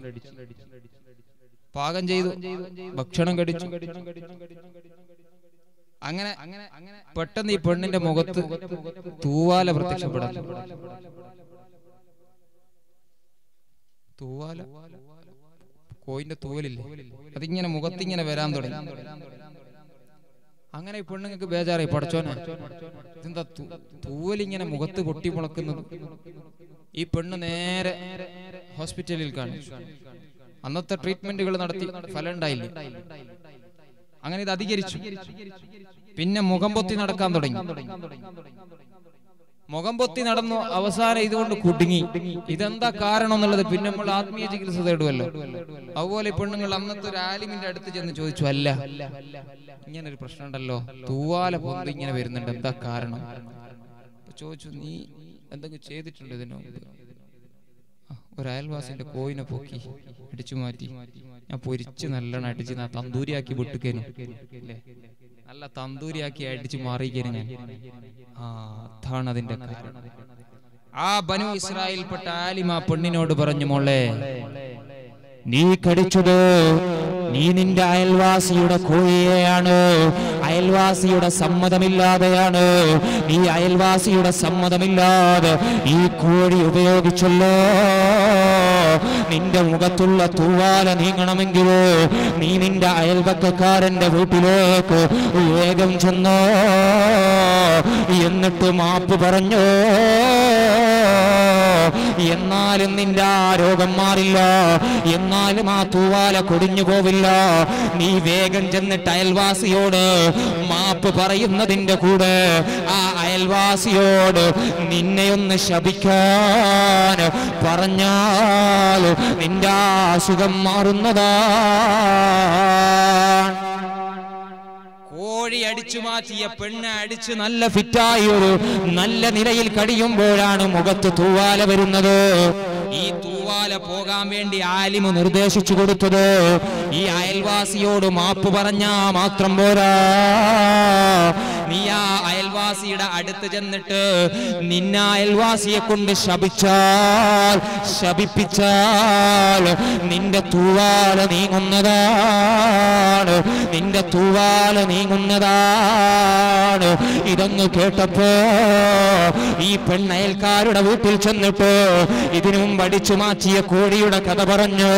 അവരെ കൊണ്ട് ശപിപ്പിച്ചപ്പോ ബനു ഇസ്രായേലിൽപ്പെട്ട ആ പെണ്ണിന്റെ മുഖത്തുള്ള തൂവാല മാറിയെന്ന് ചരിത്രത്തിലൂടെ പഠിപ്പിക്കുമ്പോ അയൽവാസി എത്ര വൃത്തികെട്ടവനാവട്ടെ അയൽവാസി ആരോ ആവട്ടെ അവരുടെ ബാധ്യത നമ്മൾ നിറവേറ്റിയില്ല എങ്കിലോ അള്ളാഹു വെറുതെ വിടില്ല. നിങ്ങളുടെ വീടിന്റെ പരിസരത്തൊരു മതിൽ കെട്ടുമ്പോ പോലും നിങ്ങൾ ശ്രദ്ധിക്കണേ. മുഹമ്മദ് റസൂലുള്ള. ആരാ പെങ്ങളെ നിങ്ങളുടെ താരത്തിരിക്കുന്നത്? ആരാ സഹോദരങ്ങളെ നിങ്ങളുടെ അടുത്തിരിക്കുന്നത്? ദുനിയാവിൽ വലിയ സ്ഥാനമുള്ളവരാണ്. നിങ്ങളുടെ തോളത്ത് കൈയിടുന്നവൾ നിങ്ങളോട് ദിവസവും കഥ പറയുന്നവൾ അവൾ നിസ്സാരക്കാരിയല്ല നിങ്ങളൊരു വീട് വെക്കാൻ ആഗ്രഹിച്ചു എന്ന് കരുതുക. നിങ്ങളൊരു വീട് വെക്കാൻ ആഗ്രഹിച്ചാൽ ആ വീടിന്റെ പരിസരത്ത് നിങ്ങളൊരു മതിൽ കെട്ടുമ്പോ ആ വീട്ടിലേക്ക് വരുന്ന വായു ആ ശുദ്ധവായു തടയുന്ന രീതിയിൽ മതിൽ കെട്ടി പൊക്കല്ലേ മുഹമ്മദ് റസൂലുള്ള. വായുവിന്റെ സഞ്ചാരം പോലും തടയരുതെന്ന് പഠിപ്പിച്ച അയൽവാസി എന്ന് പറയുന്ന ദുനിയാവിൽ നമുക്ക് ബാധ്യതയുള്ള ഒരു കൂട്ടര് ഇനി മുതലെങ്കിലും നമ്മൾ വെറുപ്പിക്കാതെ സന്തോഷത്തോടുകൂടെ അവരെ സമാശ്വസിപ്പിച്ചുകൊണ്ട് ജീവിതത്തിൽ സുഹൃതങ്ങൾ ചെയ്ത് അള്ളാഹു തോഫീക്ക് നൽകട്ടെ. അള്ളാഹു ഭാഗ്യം നൽകട്ടെ. അള്ളാഹു തോഫീക്ക് നൽകട്ടെ. അതിനൊരു തോഫീക്ക് വേണം. അവരെ വെറുപ്പിക്കാതിരിക്കാൻ ഒരു തോഫീക്ക് വേണം. അല്ലേ? ഈ അയൽവാസി പറയുന്നുണ്ട് എല്ലാവർക്കും ഇഷ്ടം ഉണ്ടാവും അല്ലേ? പ്രശ്നമൊന്നുമില്ലല്ലോ. അയൽവാസികളെ പറയുമ്പോ എപ്പോഴും കാണേണ്ട ആൾക്കാരനല്ല? അല്ലേ? അതുകൊണ്ട് ഒരു പ്രയാസം ആരും പ്രയാസപ്പെടണ്ട. ഇനി ഈ പത്ത് കാര്യങ്ങൾ ജീവിതത്തിൽ പകർത്തണം. അള്ളാഹു തോഫീക്ക് നൽകട്ടെ. ഈ പത്ത് കാര്യങ്ങൾ. ഈ പറഞ്ഞ കാര്യങ്ങളൊക്കെ ശ്രദ്ധിക്കുക. ഇനി മുതൽ അയൽവാസികൾ. അള്ളാഹു ഭാഗ്യം നൽകട്ടെ. ഒരു നിലക്കും അവരെ പ്രയാസപ്പെടുത്തരുത്. ഒരു നിലക്കും അവരെ ബുദ്ധിമുട്ടിക്കരുത്. അവരുടെ വീട്ടിലേക്ക് വരുന്ന വായു പോലും നിങ്ങൾ തടയരുത്. അവരുടെ വീടിന്റെ മുമ്പിലൂടെ നിങ്ങൾ നല്ല സാധനങ്ങൾ കൊണ്ടുപോകരുത്. കൊണ്ടുപോവുകയാണെങ്കിൽ തന്നെ അത് മറച്ചു വെച്ച് കൊണ്ടുപോകണം. അള്ളാഹു തോഫിക്ക് നൽകട്ടെ. എല്ലാം. വളരെ കൃത്യമായി നമുക്ക് പഠിപ്പിച്ചു തന്ന മതമാണ് പരിശുദ്ധമായ ഇസ്ലാം. അതുകൊണ്ട് എന്റെ പ്രിയപ്പെട്ട ഉമ്മമാരെ വാപ്പമാരെ എനിക്ക് നിങ്ങളോട് സൂചിപ്പിക്കാനുള്ളത് ഇന്നലെ നമ്മൾ ഉമ്മയെ കുറിച്ച് പറഞ്ഞു. ആ ഉമ്മയുടെ അതേ ബഹുമാനം നിന്റെ അയൽവാസിക്ക് കൊടുക്കണമെന്ന് ഞാൻ നിങ്ങളോട് ഇന്ന് സൂചിപ്പിച്ചു. ഉമ്മയ്ക്ക് കൊടുക്കേണ്ട അതേ ബഹുമാനം നിന്റെ അയൽക്കാരിയായ വീട്ടുകാരിക്കും നീ കൊടുക്കണേ എന്ന് മഹാനായ റസൂലുള്ളാഹി സ്വല്ലല്ലാഹു. ആയിഷ ഉമ്മ റളിയല്ലാഹു അൻഹ ചോദിച്ചു നബിയേ ഈ അയൽവാസി അയൽവാസി എന്ന് പറഞ്ഞാൽ എല്ലാവരും അയൽവാസി തന്നെയല്ലേ? ഇപ്പൊ എന്തെങ്കിലും ഒരു സാധനം കിട്ടി എല്ലാടേയും കൊടുക്കാൻ ഉണ്ടാവില്ലല്ലോ അപ്പൊ ഞാൻ ഇതേടി ആദ്യം കൊടുക്കണ്ടേ?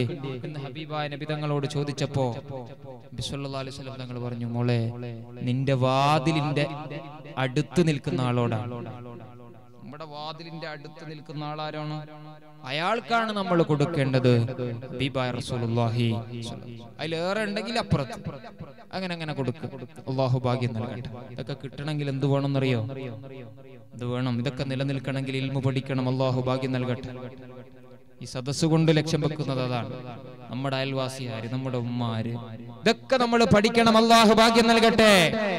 നമ്മളെല്ലാം മറന്നുകൊണ്ട് ദുന്യാവിന്റെ പിന്നാലെ പോയാൽ അത് അപകടമാണ്. ദുന്യാവ് ഉണ്ടാവൂല ആഹ്റം ഉണ്ടാവൂല. മഹാനായി റിപ്പോർട്ട് ചെയ്ത ഒരു ഹദീസിൽ അത് വളരെ കൃത്യമായി സൂചിപ്പിക്കുന്നുണ്ട്. ഞാൻ ഇപ്പൊ അതൊന്ന് സൂചിപ്പിച്ചു തരാം. മഹാനായ ഇബ്നു മാജ റളിയല്ലാഹു അൻഹു റിപ്പോർട്ട് ചെയ്യുന്ന ഒരു ഹദീസിൽ മഹാനബറുകൾ പറയുന്നു പുന്നാര നബി സല്ലാഹു അലൈഹി വസല്ലം തങ്ങൾ പറയുന്ന ഒരു ഹദീസ്. എന്താ? ഒരു മനുഷ്യൻ ദുന്യാവിന്റെ പിന്നാലെ പോയി. ദുന്യാവിന്റെ പിന്നാലെ പോയി. എന്നാൽ എനിക്ക് ആ ദുന്യാവ് നല്ല കണക്കാക്കിയത് എനിക്ക് കിട്ടൂ എന്ന് ഹബീബായ മുഹമ്മദ് റസൂലുള്ളാഹി സ്വല്ലല്ലാഹു അലൈഹി വസല്ലം സെയ്ദ് ബിൻ സാബിത്ത് റളിയല്ലാഹു അൻഹു റിപ്പോർട്ട് ചെയ്യുന്ന ഹദീസാണ്. ഒരാൾ ഒരു ദുന്യാവിന്റെ പിന്നാലെ പോയി. ആഹ്റോറ്റ് എനിക്കൊന്നും വേണ്ട. ഓന്റെ ഉദ്ദേശം ദുനിയാവ് നേടലാണ്. എന്നിട്ട് അവൻ ഇങ്ങനെ സഞ്ചരിച്ചു കഴിഞ്ഞാൽ മഹാനായ സെയ്ദുബിന് സാബിത്ത് റളിയല്ലാഹു അൻഹു റിപ്പോർട്ട് ചെയ്യുന്ന ഹദീസിൽ കാണാം. മഹാനവറുകൾ പറയാണ് റസൂലല്ലാഹ് പറയുന്നത് ഞാൻ കേട്ടു.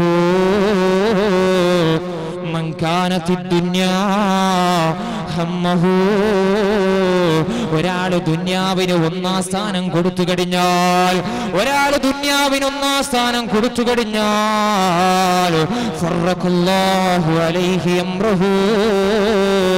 അവന്റെ കാര്യങ്ങൾ അള്ളാഹു ചിന്ന ഭിന്നമാക്കുമെന്ന് സയ്യിദുനാ മുഹമ്മദുർ റസൂലുള്ളാഹ് ഒരാൾ ദുന്യാവിന് ഒന്നാം സ്ഥാനം കൊടുത്തു കഴിഞ്ഞാൽ അവന്റെ ദുന്യാവിലെ കാര്യങ്ങൾ അള്ളാഹു ഛിന്ന ഭിന്നമാക്കി കളയുന്നതാണ്.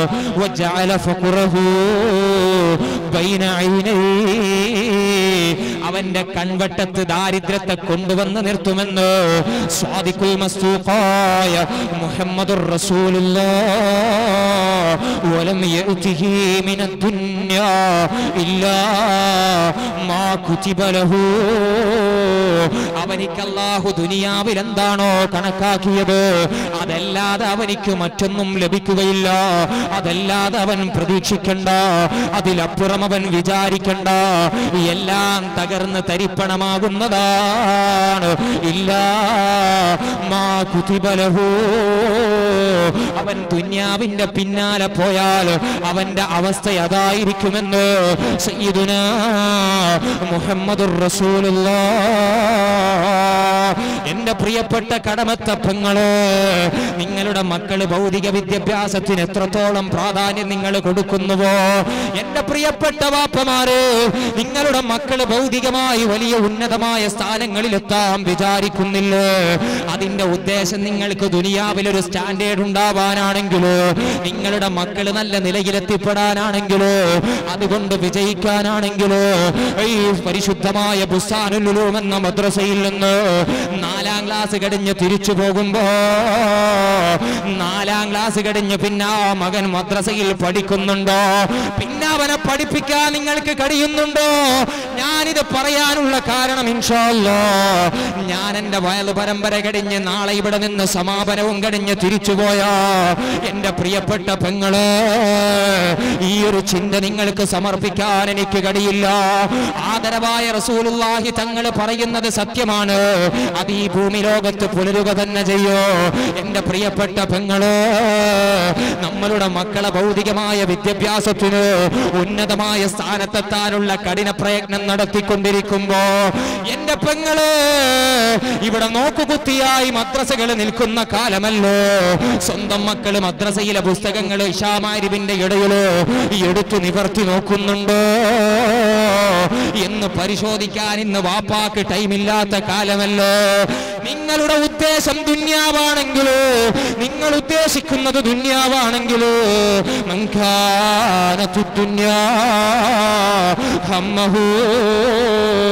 ഒരാൾ ദുന്യാവിന് ഒന്നാം സ്ഥാനം കൊടുത്തു കഴിഞ്ഞാൽ ഒരാൾ ദുന്യാവിന് ഒന്നാം സ്ഥാനം കൊടുത്തു കഴിഞ്ഞാൽ അള്ളാഹു സുബ്ഹാനഹു ചാല ഒന്നാമതവനെ കൊണ്ട് ചെയ്യുന്നത് ഫറഖല്ലാഹു അലൈഹി അംറഹു. അവന്റെ കാര്യങ്ങളല്ല ചിന്ന ഭിന്നാക്കി കളയുന്നവനാണ് റസൂലുള്ളാഹി ഒന്നും നടക്കൂല. മോന്റെ വിദ്യാഭ്യാസമായിരിക്കും ഓൾ ലക്ഷ്യം വെച്ച്. ഓൻ ലക്ഷ്യം വെച്ച്. ഓം ഡോക്ടറായി. വലിയ സംഭവമായി. എന്നെ ഭാവിയിൽ നോക്കൂന്ന് വിചാരിച്ചതായിരിക്കും. പക്ഷെ അത് നടക്കൂല. അങ്ങനത്തെ ആളുകൾ ഇട്ടേച്ചങ്ങ് പോകും. അള്ളാഹു നമ്മളെ കാക്കട്ടെ. ബോധമുണ്ട് വെറും പഠിത്തം മാത്രല്ല അതിനൊപ്പം ഒരു ബോധം കിട്ടാണ്ട് എന്താ ബോധം? ഭൗതികമായ വിദ്യാഭ്യാസം പഠിച്ചാൽ നിങ്ങളുടെ മക്കൾ നല്ല നിലയിലെത്തും. അലഹമില്ല അത് വേണ്ടെന്നല്ല പറയുന്നത്. അതിനോടൊപ്പം അത് ഉപയോഗിക്കേണ്ട രീതി അത് ആ ഒരു ബോധം കൊടുക്കണമെങ്കിൽ നമ്മൾ മദ്രസ പഠിപ്പിച്ചേ മതിയാകൂ ഇൽമ പഠിപ്പിച്ചേ മതിയാകൂ. ബോധം ഉണ്ടാവണം. ഒരു മനുഷ്യന്റെ മൂന്ന് മക്കളിൽ ഒരാൾ ഡോക്ടറാണ്. മറ്റു രണ്ടുപേരും സാധാരണക്കാരാണ്. ഈ ഡോക്ടർ ഈ വാപ്പ മരണപ്പെട്ടു പോയപ്പോ ഈ രണ്ട് സാധാരണക്കാരായ മക്കൾക്ക് ഈ സമ്പത്ത് അവരെന്താക്കി? അടിപിടി കൂടി തിരിച്ച് അങ്ങോട്ടും ഇങ്ങോട്ടും വീതിച്ചെടുത്തു. ഡോക്ടർ പുറത്തായി. ഡോക്ടർ തീരുമാനിച്ചു.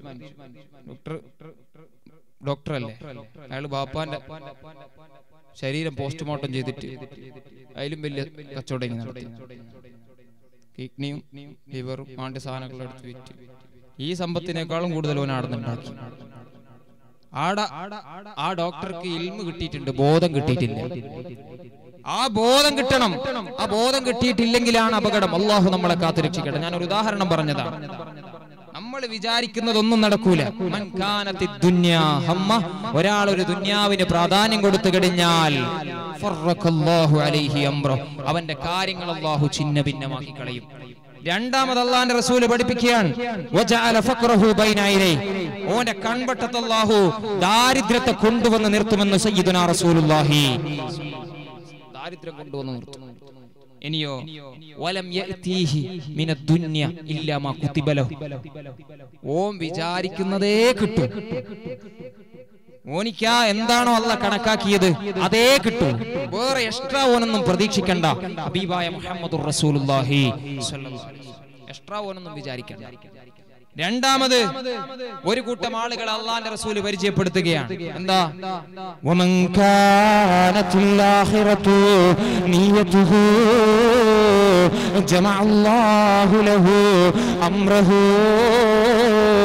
സയ്യിദുനാ മുഹമ്മദുർ റസൂലുള്ളാഹ്. ഒരാളുടെ നീയത്ത് ആഹിറമായി മാറിയ ഒരാളുടെ നീയത്ത് തന്നെ ആഹിറമായി മാറി. എന്നാലോ അല്ലാഹു ലഹു അംറഹു. അവന്റെ ഓരോ കാര്യങ്ങളോ അവന്റെ മുമ്പിലേക്ക് അള്ളാഹു ഒരുമിച്ച് കൂട്ടുന്നതാണ്. അവൻ വിചാരിക്കാത്ത വഴിയിലൂടെ അവൻ ഉന്നതമായ സ്ഥാനത്തിലെത്തുന്നത് നിങ്ങൾക്ക് കാണാം. നിങ്ങൾക്ക് അവരുടെ ഓരോ വിജയവും നിങ്ങളുടെ മുമ്പിലേക്ക് അള്ളാഹു എത്തിച്ചു തരുന്നതാണ്. നിങ്ങളുടെ നീയത്ത് അള്ളാഹു തൗഫീക്ക് നൽകട്ടെ. രണ്ടാമത് പഠിപ്പിക്കുന്നത്.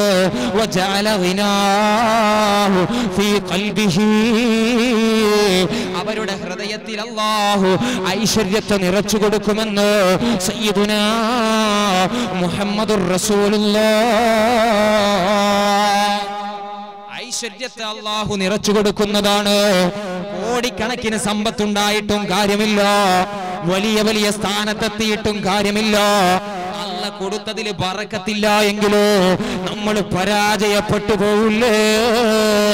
എന്റെ പ്രിയപ്പെട്ട പെങ്ങൾ ഞാനൊരു മദ്രസയിൽ പഠിപ്പിക്കുന്ന അധ്യാപകനാണ്. എനിക്കുണ്ടാകുന്ന അനുഭവമാണ് ഞാൻ ഈ സൂചിപ്പിക്കുന്നത്. എന്റെ മദ്രസയിലെ വിദ്യാർത്ഥികൾ ഒരു സമയം വരെ ക്ലാസ്സിൽ കിട്ടൂ. മദ്രസയിലെ ഏറ്റവും പ്രധാനപ്പെട്ട ഒമ്പത് മണി വരെയുള്ള സമയത്തിൽ അവർക്ക് ആ സമയത്ത് ട്യൂഷൻ സെന്ററുകൾ ആരംഭിച്ചുകൊണ്ട് ഭൗതിക വിദ്യാഭ്യാസത്തിന് പ്രാധാന്യം നൽകി. ആറുമേയും ഏഴായിരവും ഒക്കെ കെട്ടിവെച്ച് സ്വന്തം മക്കൾ ഭൗതിക വിദ്യാഭ്യാസത്തിന് അള്ളാന്റെ മതം മാറ്റി നിർത്തിയിട്ട് പഠിക്കാൻ കൊണ്ടുപോകുമ്പോ ആ ദുന്യാവ് നിങ്ങൾക്ക് ഉപകാര ഉപകാരപ്പെടില്ല. ആ ദുനിയാവ് നിങ്ങൾക്ക് ഉപകാരപ്പെടില്ല. കാരണം നിങ്ങൾ ദുന്യാവിന് ഒന്നാം സ്ഥാനം കൊടുത്തുപോയി നിങ്ങൾ ഒന്നാം സ്ഥാനം ദുനിയാവിന് കൊടുത്തപ്പോ അള്ളാന്റെ ദീന് മറന്നുപോയി നാളെ ഞാൻ മരിച്ചു ചെന്നാ കിടക്കേണ്ട കബർസ്ഥാനിൽ എന്റെ മകൻ എന്റെ അടുത്ത് വന്നിട്ട് എന്നോട് സലാം പറയില്ല എന്ന തിരിച്ചറിവിൽ നിന്നാണ് നമ്മൾ മദ്രസയിലേക്ക് മക്കളെ കൃത്യമായി പറഞ്ഞയക്കേണ്ടത്. എനിക്കിവിടെ നിന്ന് ബോധ്യപ്പെട്ടതും അതാണ്. എനിക്കിവിടെ നിന്ന് ബോധ്യപ്പെട്ടതാണ് പറയാതെ നിർവാഹമില്ല. എന്റെ പ്രിയപ്പെട്ട പെങ്ങൾ ഒരു സ്കൂളിൽ ഒരു മീറ്റിംഗ് വിളിച്ചാ എത്ര താല്പര്യത്തോടെയാ നിങ്ങൾ ചൊല്ലുന്നത്? എന്താവേശത്തോടെയാ നിങ്ങൾ ചൊല്ലുന്നത്? ഞാനൊന്ന് ചോദിക്കട്ടെ. ഈ ബുസ്താനുലിലോ മദ്രസയിൽ സ്വന്തം മക്കളുടെ ഒരു മീറ്റിംഗ് വെച്ചാ അവന്റെ ആത്മാവിന് ആത്മീയ ഭക്ഷണം കൊടുക്കുന്ന ഉസ്താദുമാരൊരു മീറ്റിംഗ് വിളിച്ചാൽ ആ മീറ്റിംഗിന് അറ്റൻഡ് ചെയ്യാൻ പോലും മടിച്ചുകൊണ്ട് സ്വന്തം മക്കൾ ഖുർആൻ പാരായണം ചെയ്യുന്നുണ്ടോ. അവരുടെ നിസ്കാരം ശരിയാണോ? അവരുടെ നോമ്പ് ശരിയാണോ? അവരുടെ സൽക്കർമ്മങ്ങൾ ശരിയാണോ? എന്ന് ചിന്തിക്കുന്ന ഒരു ഉമ്മ ഈ കടമച്ചു ദ്വീപിലുണ്ട്. എന്ന് ചിന്തിക്കുന്ന ഒരു വാപ്പ ഈ സദസ്സിലുണ്ട്. നിങ്ങൾക്ക് ഭൗതികമായ വിദ്യാഭ്യാസം വേണ്ടുവോളമുണ്ടെന്ന് ഇവരുടെ സംസാരത്തിൽ നിന്ന് നമുക്ക് ബോധ്യമാകുന്നതാണ്. ഓരോരുത്തരും നല്ല നോളജ് ഉള്ള ആളുകളാണ്. ഉയർന്ന നിലവാരത്തിലുള്ള ആളുകളാണ്. പറഞ്ഞിട്ട് കാര്യമില്ല. ദീനില്ലെങ്കിൽ പോകുന്നതാണ്. സകലതും കൈവിട്ടു പോകുന്നതാണ്. ഞാനൊന്ന് പറയട്ടെ. അള്ളാന്റെ ആഹ്റത്തിനാരെങ്കിലോ ഒന്നാം സ്ഥാനം കൊടുത്തു കഴിഞ്ഞാൽ അള്ളാഹു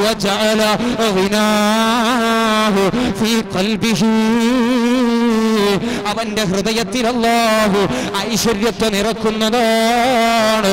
അഷ്റഫുൽ വറാ ത്വാഹ മുഹമ്മദ് മുസ്തഫ. നിങ്ങളുടെ മക്കളുടെ ഭൗതിക വിദ്യാഭ്യാസത്തിന് നിങ്ങൾ ആയിരങ്ങൾ എറിഞ്ഞു ദ്വാരക്കാൻ പറയുമ്പോ അത് വേണ്ട എന്ന് ഞാൻ പറയുന്നില്ല. ഇവിടത്തേക്ക് നോട്ടീസ് കൊടുത്തയക്കുമ്പോ സ്വന്തം മക്കൾ മദ്രസയിൽ പഠിക്കുമ്പോ പടച്ചവന് എന്റെ മക്കൾക്ക് എന്റെ അള്ളാഹുവേ ഇൽമ കൂടി കിട്ടണമല്ലോ.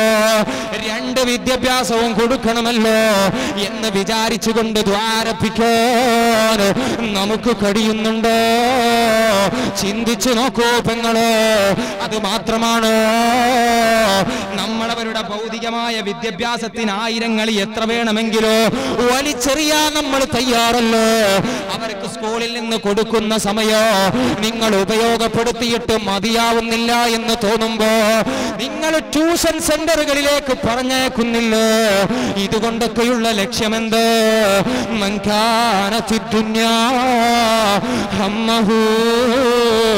ദുന്യാവാണ് നിങ്ങളുടെ മുമ്പിലുള്ള അംറഹു. അവന്റെ ദുന്യാവിലുള്ള ഓരോ കാര്യങ്ങളോ ഛിന്ന ഭിന്നമായി പോകുമെന്ന് ആരാ പറഞ്ഞത്? അഷറഫുൽ മുഹമ്മദ് മുസ്തഫ എന്നാൽ ഒരു ഉമ്മാന്റെ നെയ്യത്ത് ആഹ്റമാണ്. അതിന്റെ കൂട്ടത്തിൽ എന്റെ മകൻ ഭൗതികവും പഠിക്കട്ടെ. അതിന്റെ കൂട്ടത്തിൽ എന്റെ മകൻ മതവും പഠിക്കട്ടെ. രണ്ടും പഠിച്ച് വളർന്നു വരട്ടെ എന്ന് ചിന്തിച്ചുകൊണ്ടൊരു ഉമ്മ രണ്ട് വിദ്യാഭ്യാസത്തിനും പ്രാധാന്യം നൽകിയോ ആ ദുനിയാവ് ഒരു ഇടയനെ പോലെ നിങ്ങളുടെ കൂടെ വരുന്നതാണ് മുഹമ്മദ് മുസ്തഫ. എന്തേ ഇവിടെ വേണ്ടത്? നീയത്ത് നന്നാക്കലാണ്. നീയത്ത് നന്നാലാണ് ആ നീയത്ത് ഒരാളെ നന്നായി കഴിഞ്ഞാൽ നിങ്ങളുടെ പിന്നാലെ ദുന്യാവ് വരുന്നതാണ്. ഏതുപോലെ? ആട്ടിൻ പറ്റങ്ങൾ നടന്നു പോകുമ്പോ അതിന്റെ പിന്നിൽ ഇടയൻ പോകുന്നത് കാണുന്നില്ലേ? ആ ആട്ടിൻ പറ്റങ്ങളെ തൊലിച്ചു കൊണ്ടുപോകുന്നത് കാണുന്നില്ലേ? അതുപോലെ ആ ആട്ടിൻ പറ്റങ്ങളുടെ പിന്നാലെ ഇടയൻ നടക്കുന്നത് പോലെ നിങ്ങളുടെ പിന്നാലെ ഈ ദുനിയാവിലെ സൗകര്യങ്ങൾ ഈ ദുനിയാവ് നിങ്ങളുടെ കൂടെ വരുന്നതാണ്. അള്ളാന്റെ റസൂലല്ലേ ഇത് പഠിപ്പിക്കുന്നത്? അതുകൊണ്ട് ആർക്കും വിഷമം തോന്നണ്ടോ ഒരു മനപ്രയാസം തോന്നണ്ടോ. ഇന്നു മുതൽ തീരുമാനിച്ചോ എന്റെ മക്കൾ എനിക്ക് ഇന്നും നാളെയും ഉപകരിക്കണോ? എനിക്ക് ഇന്നും നാളെയും ഉപകരിക്കണോ? ഇന്ന് തീരുന്ന ഈ ദുനിയാവിൽ നിന്ന് എന്റെ മക്കൾ സുഹൃതം ചെയ്യുന്നവരായി ഈ ഭൂമണ്ഡലത്തിൽ ബാക്കിയാകണോ? എല്ലാ തിങ്കളാഴ്ച രാവിലും ഒരു മനുഷ്യന്റെ സുഹൃതോ മക്കളുടെ സുഹൃതം കബറിൽ മാതാപിതാക്കൾക്ക് കാണിച്ചു കൊടുക്കുമെന്ന്? റസൂലുള്ളാഹ് ആ റസൂലുള്ളാഹി തങ്ങളാണ് പഠിപ്പിക്കുന്നത്. നിങ്ങളുടെ സുഹൃതങ്ങൾ നിങ്ങളുടെ സുഹൃതങ്ങൾ നിങ്ങൾക്ക് നാളെ കബറിൽ കിടക്കുമ്പോ നിങ്ങളുടെ മക്കൾ ചെയ്യുന്ന സുഹൃതങ്ങൾ അള്ളാഹു നിങ്ങൾക്ക് വെളിവാക്കി തരുമ്പോ നിങ്ങൾ അതുകൊണ്ട് സന്തോഷിക്കുമെന്ന് മുഹമ്മദ് മുസ്തഫ.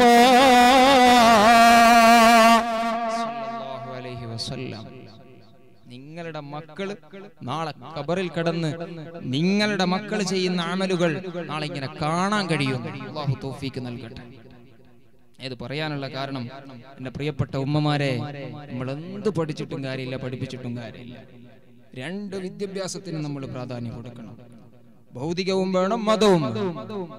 ഇത് കേവലം നാലാം ക്ലാസ് കൊണ്ട് അവസാനിപ്പിക്കരുത്. നാലാം ക്ലാസ് വരെ പഠിക്കുന്ന മക്കൾ അവർ കൃത്യമായി പഠിക്കുന്നുണ്ടോ എന്ന് നിങ്ങൾ ടെസ്റ്റ് ചെയ്യണം. ഞാൻ പലപ്പോഴും ചിന്തിക്കാറുണ്ട് പഠിച്ചോനെ ഇവിടെ ഉണ്ടോന്ന് എനിക്കറിയില്ല. ഞാൻ പലപ്പോഴും ചിന്തിക്കാറുണ്ട്. എന്ത്? എന്റെ മദ്രസയിൽ ഞാൻ പഠിപ്പിച്ചുകൊണ്ടിരിക്കുമ്പോൾ രാത്രി ഒരു ഏഴര മണിയായാൽ എന്റെ ഫോൺ കോൾ ഇങ്ങനെ വന്നുകൊണ്ടിരിക്കും. ഓരോ ചെറിയ മക്കളുടെ ഉമ്മമാരാണ്. രണ്ടാം ക്ലാസ്സിൽ ഉമ്മ വാപ്പമാര് വിളിക്കും എന്നിട്ട് ചോദിക്കും എവിടെത്തി ഉസ്താദെ? എവിടെയാണ് ഇപ്പൊ വെച്ചത്? എവിടെയാണ് ഇപ്പൊ തുടങ്ങുന്നത്? ഇനി അഥവാ അവർക്ക് മനസ്സിലായിട്ടില്ല എന്നോട് ചോദിക്കും നിങ്ങൾ എന്താ പഠിപ്പിച്ചു കൊടുത്തിട്ടില്ലേ? ഓക്കത് വായിക്കാൻ കിട്ടുന്നില്ലേ? എന്നൊക്കെ എന്നോട് ചോദിക്കും. ഞാൻ ഇങ്ങനെ അത്ഭുതപ്പെടാറുണ്ട്. ഇവിടെ ഉണ്ടാവും ഞാൻ വിചാരിക്കുന്നു. ഉണ്ടാവട്ടെ.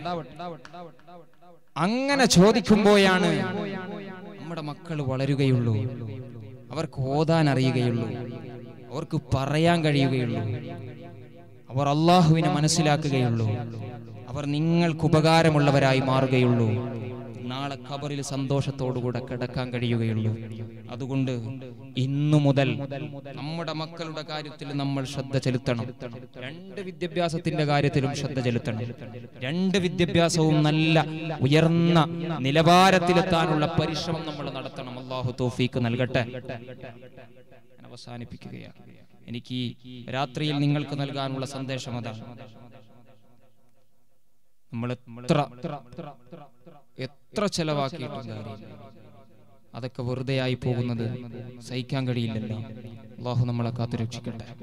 അതുകൊണ്ട് എന്റെ പ്രിയപ്പെട്ട ഉമ്മമാരോട് വാപ്പമാരോട് സൂചിപ്പിക്കാനുള്ളത് സ്കൂളിലെ വിദ്യാഭ്യാസം പോലെ തന്നെ മതവിദ്യാഭ്യാസത്തിന് നമ്മൾ പ്രാധാന്യം കൊടുക്കണം. എന്നാലേ നിങ്ങളെ തിരിച്ചറിയാൻ അവർക്ക് കഴിയുകയുള്ളൂ. അതുകൊണ്ടാണ് അള്ളാഹു അതിനുള്ള തോഫീക്ക് നൽകട്ടെ. ഇന്നലെ ഇത് കിട്ടാഞ്ഞിട്ട് കുറെ ഉമ്മമാർ പരാതി പറഞ്ഞിട്ടുണ്ട്. അതുകൊണ്ട് ഞാൻ തന്നെ എന്തായാലും കൊണ്ടുവരണമെന്ന് പറഞ്ഞിട്ട് വാങ്ങിച്ചതാണ്. അപ്പൊ ഇത് കിട്ടാത്ത ഉമ്മമാര് ഇന്നലെ കൊടുത്തുവിട്ട സാധനം. അതെല്ലാവരും ഇന്ന് അങ്ങോട്ട് കൊണ്ടുതരും എന്ന് വിചാരിക്കുന്നു. കൊണ്ടുതരും. അവർ എല്ലാരും അത് വാങ്ങണം. അള്ളാഹു തോഫീക്ക് നൽകട്ടെ. നമ്മുടെ ആ നെയ്യത്ത് അള്ളാഹു കബൂലാക്കട്ടെ. ആ സ്വതക്ക കൊണ്ട് ഇന്നലെ പറഞ്ഞതുപോലെ മക്കളുടെ മയ്യത്ത് നിസ്കരിക്കേണ്ട ഒരു ഗതികേട് അള്ളാഹു നമുക്ക് ദുനിയാവിൽ തരാതിരിക്കട്ടെ. എല്ലാ മുസീബത്തിൽ നിന്നും അള്ളാഹു കാത്തുരക്ഷിക്കട്ടെ. അള്ളാഹു ഭാഗ്യം നൽകട്ടെ. അതുകൊണ്ട് എല്ലാവരും ആ കാര്യം ശ്രദ്ധിക്കുക. നമുക്ക് രണ്ട് വിദ്യാഭ്യാസവും വേണം ഞാൻ അവസാനിപ്പിക്കുകയാണ്. ഞാൻ അവസാനിപ്പിക്കുകയാണ്. കൊടുത്തിട്ടല്ലേ. തുടങ്ങാം ഇൻഷാ അല്ലാ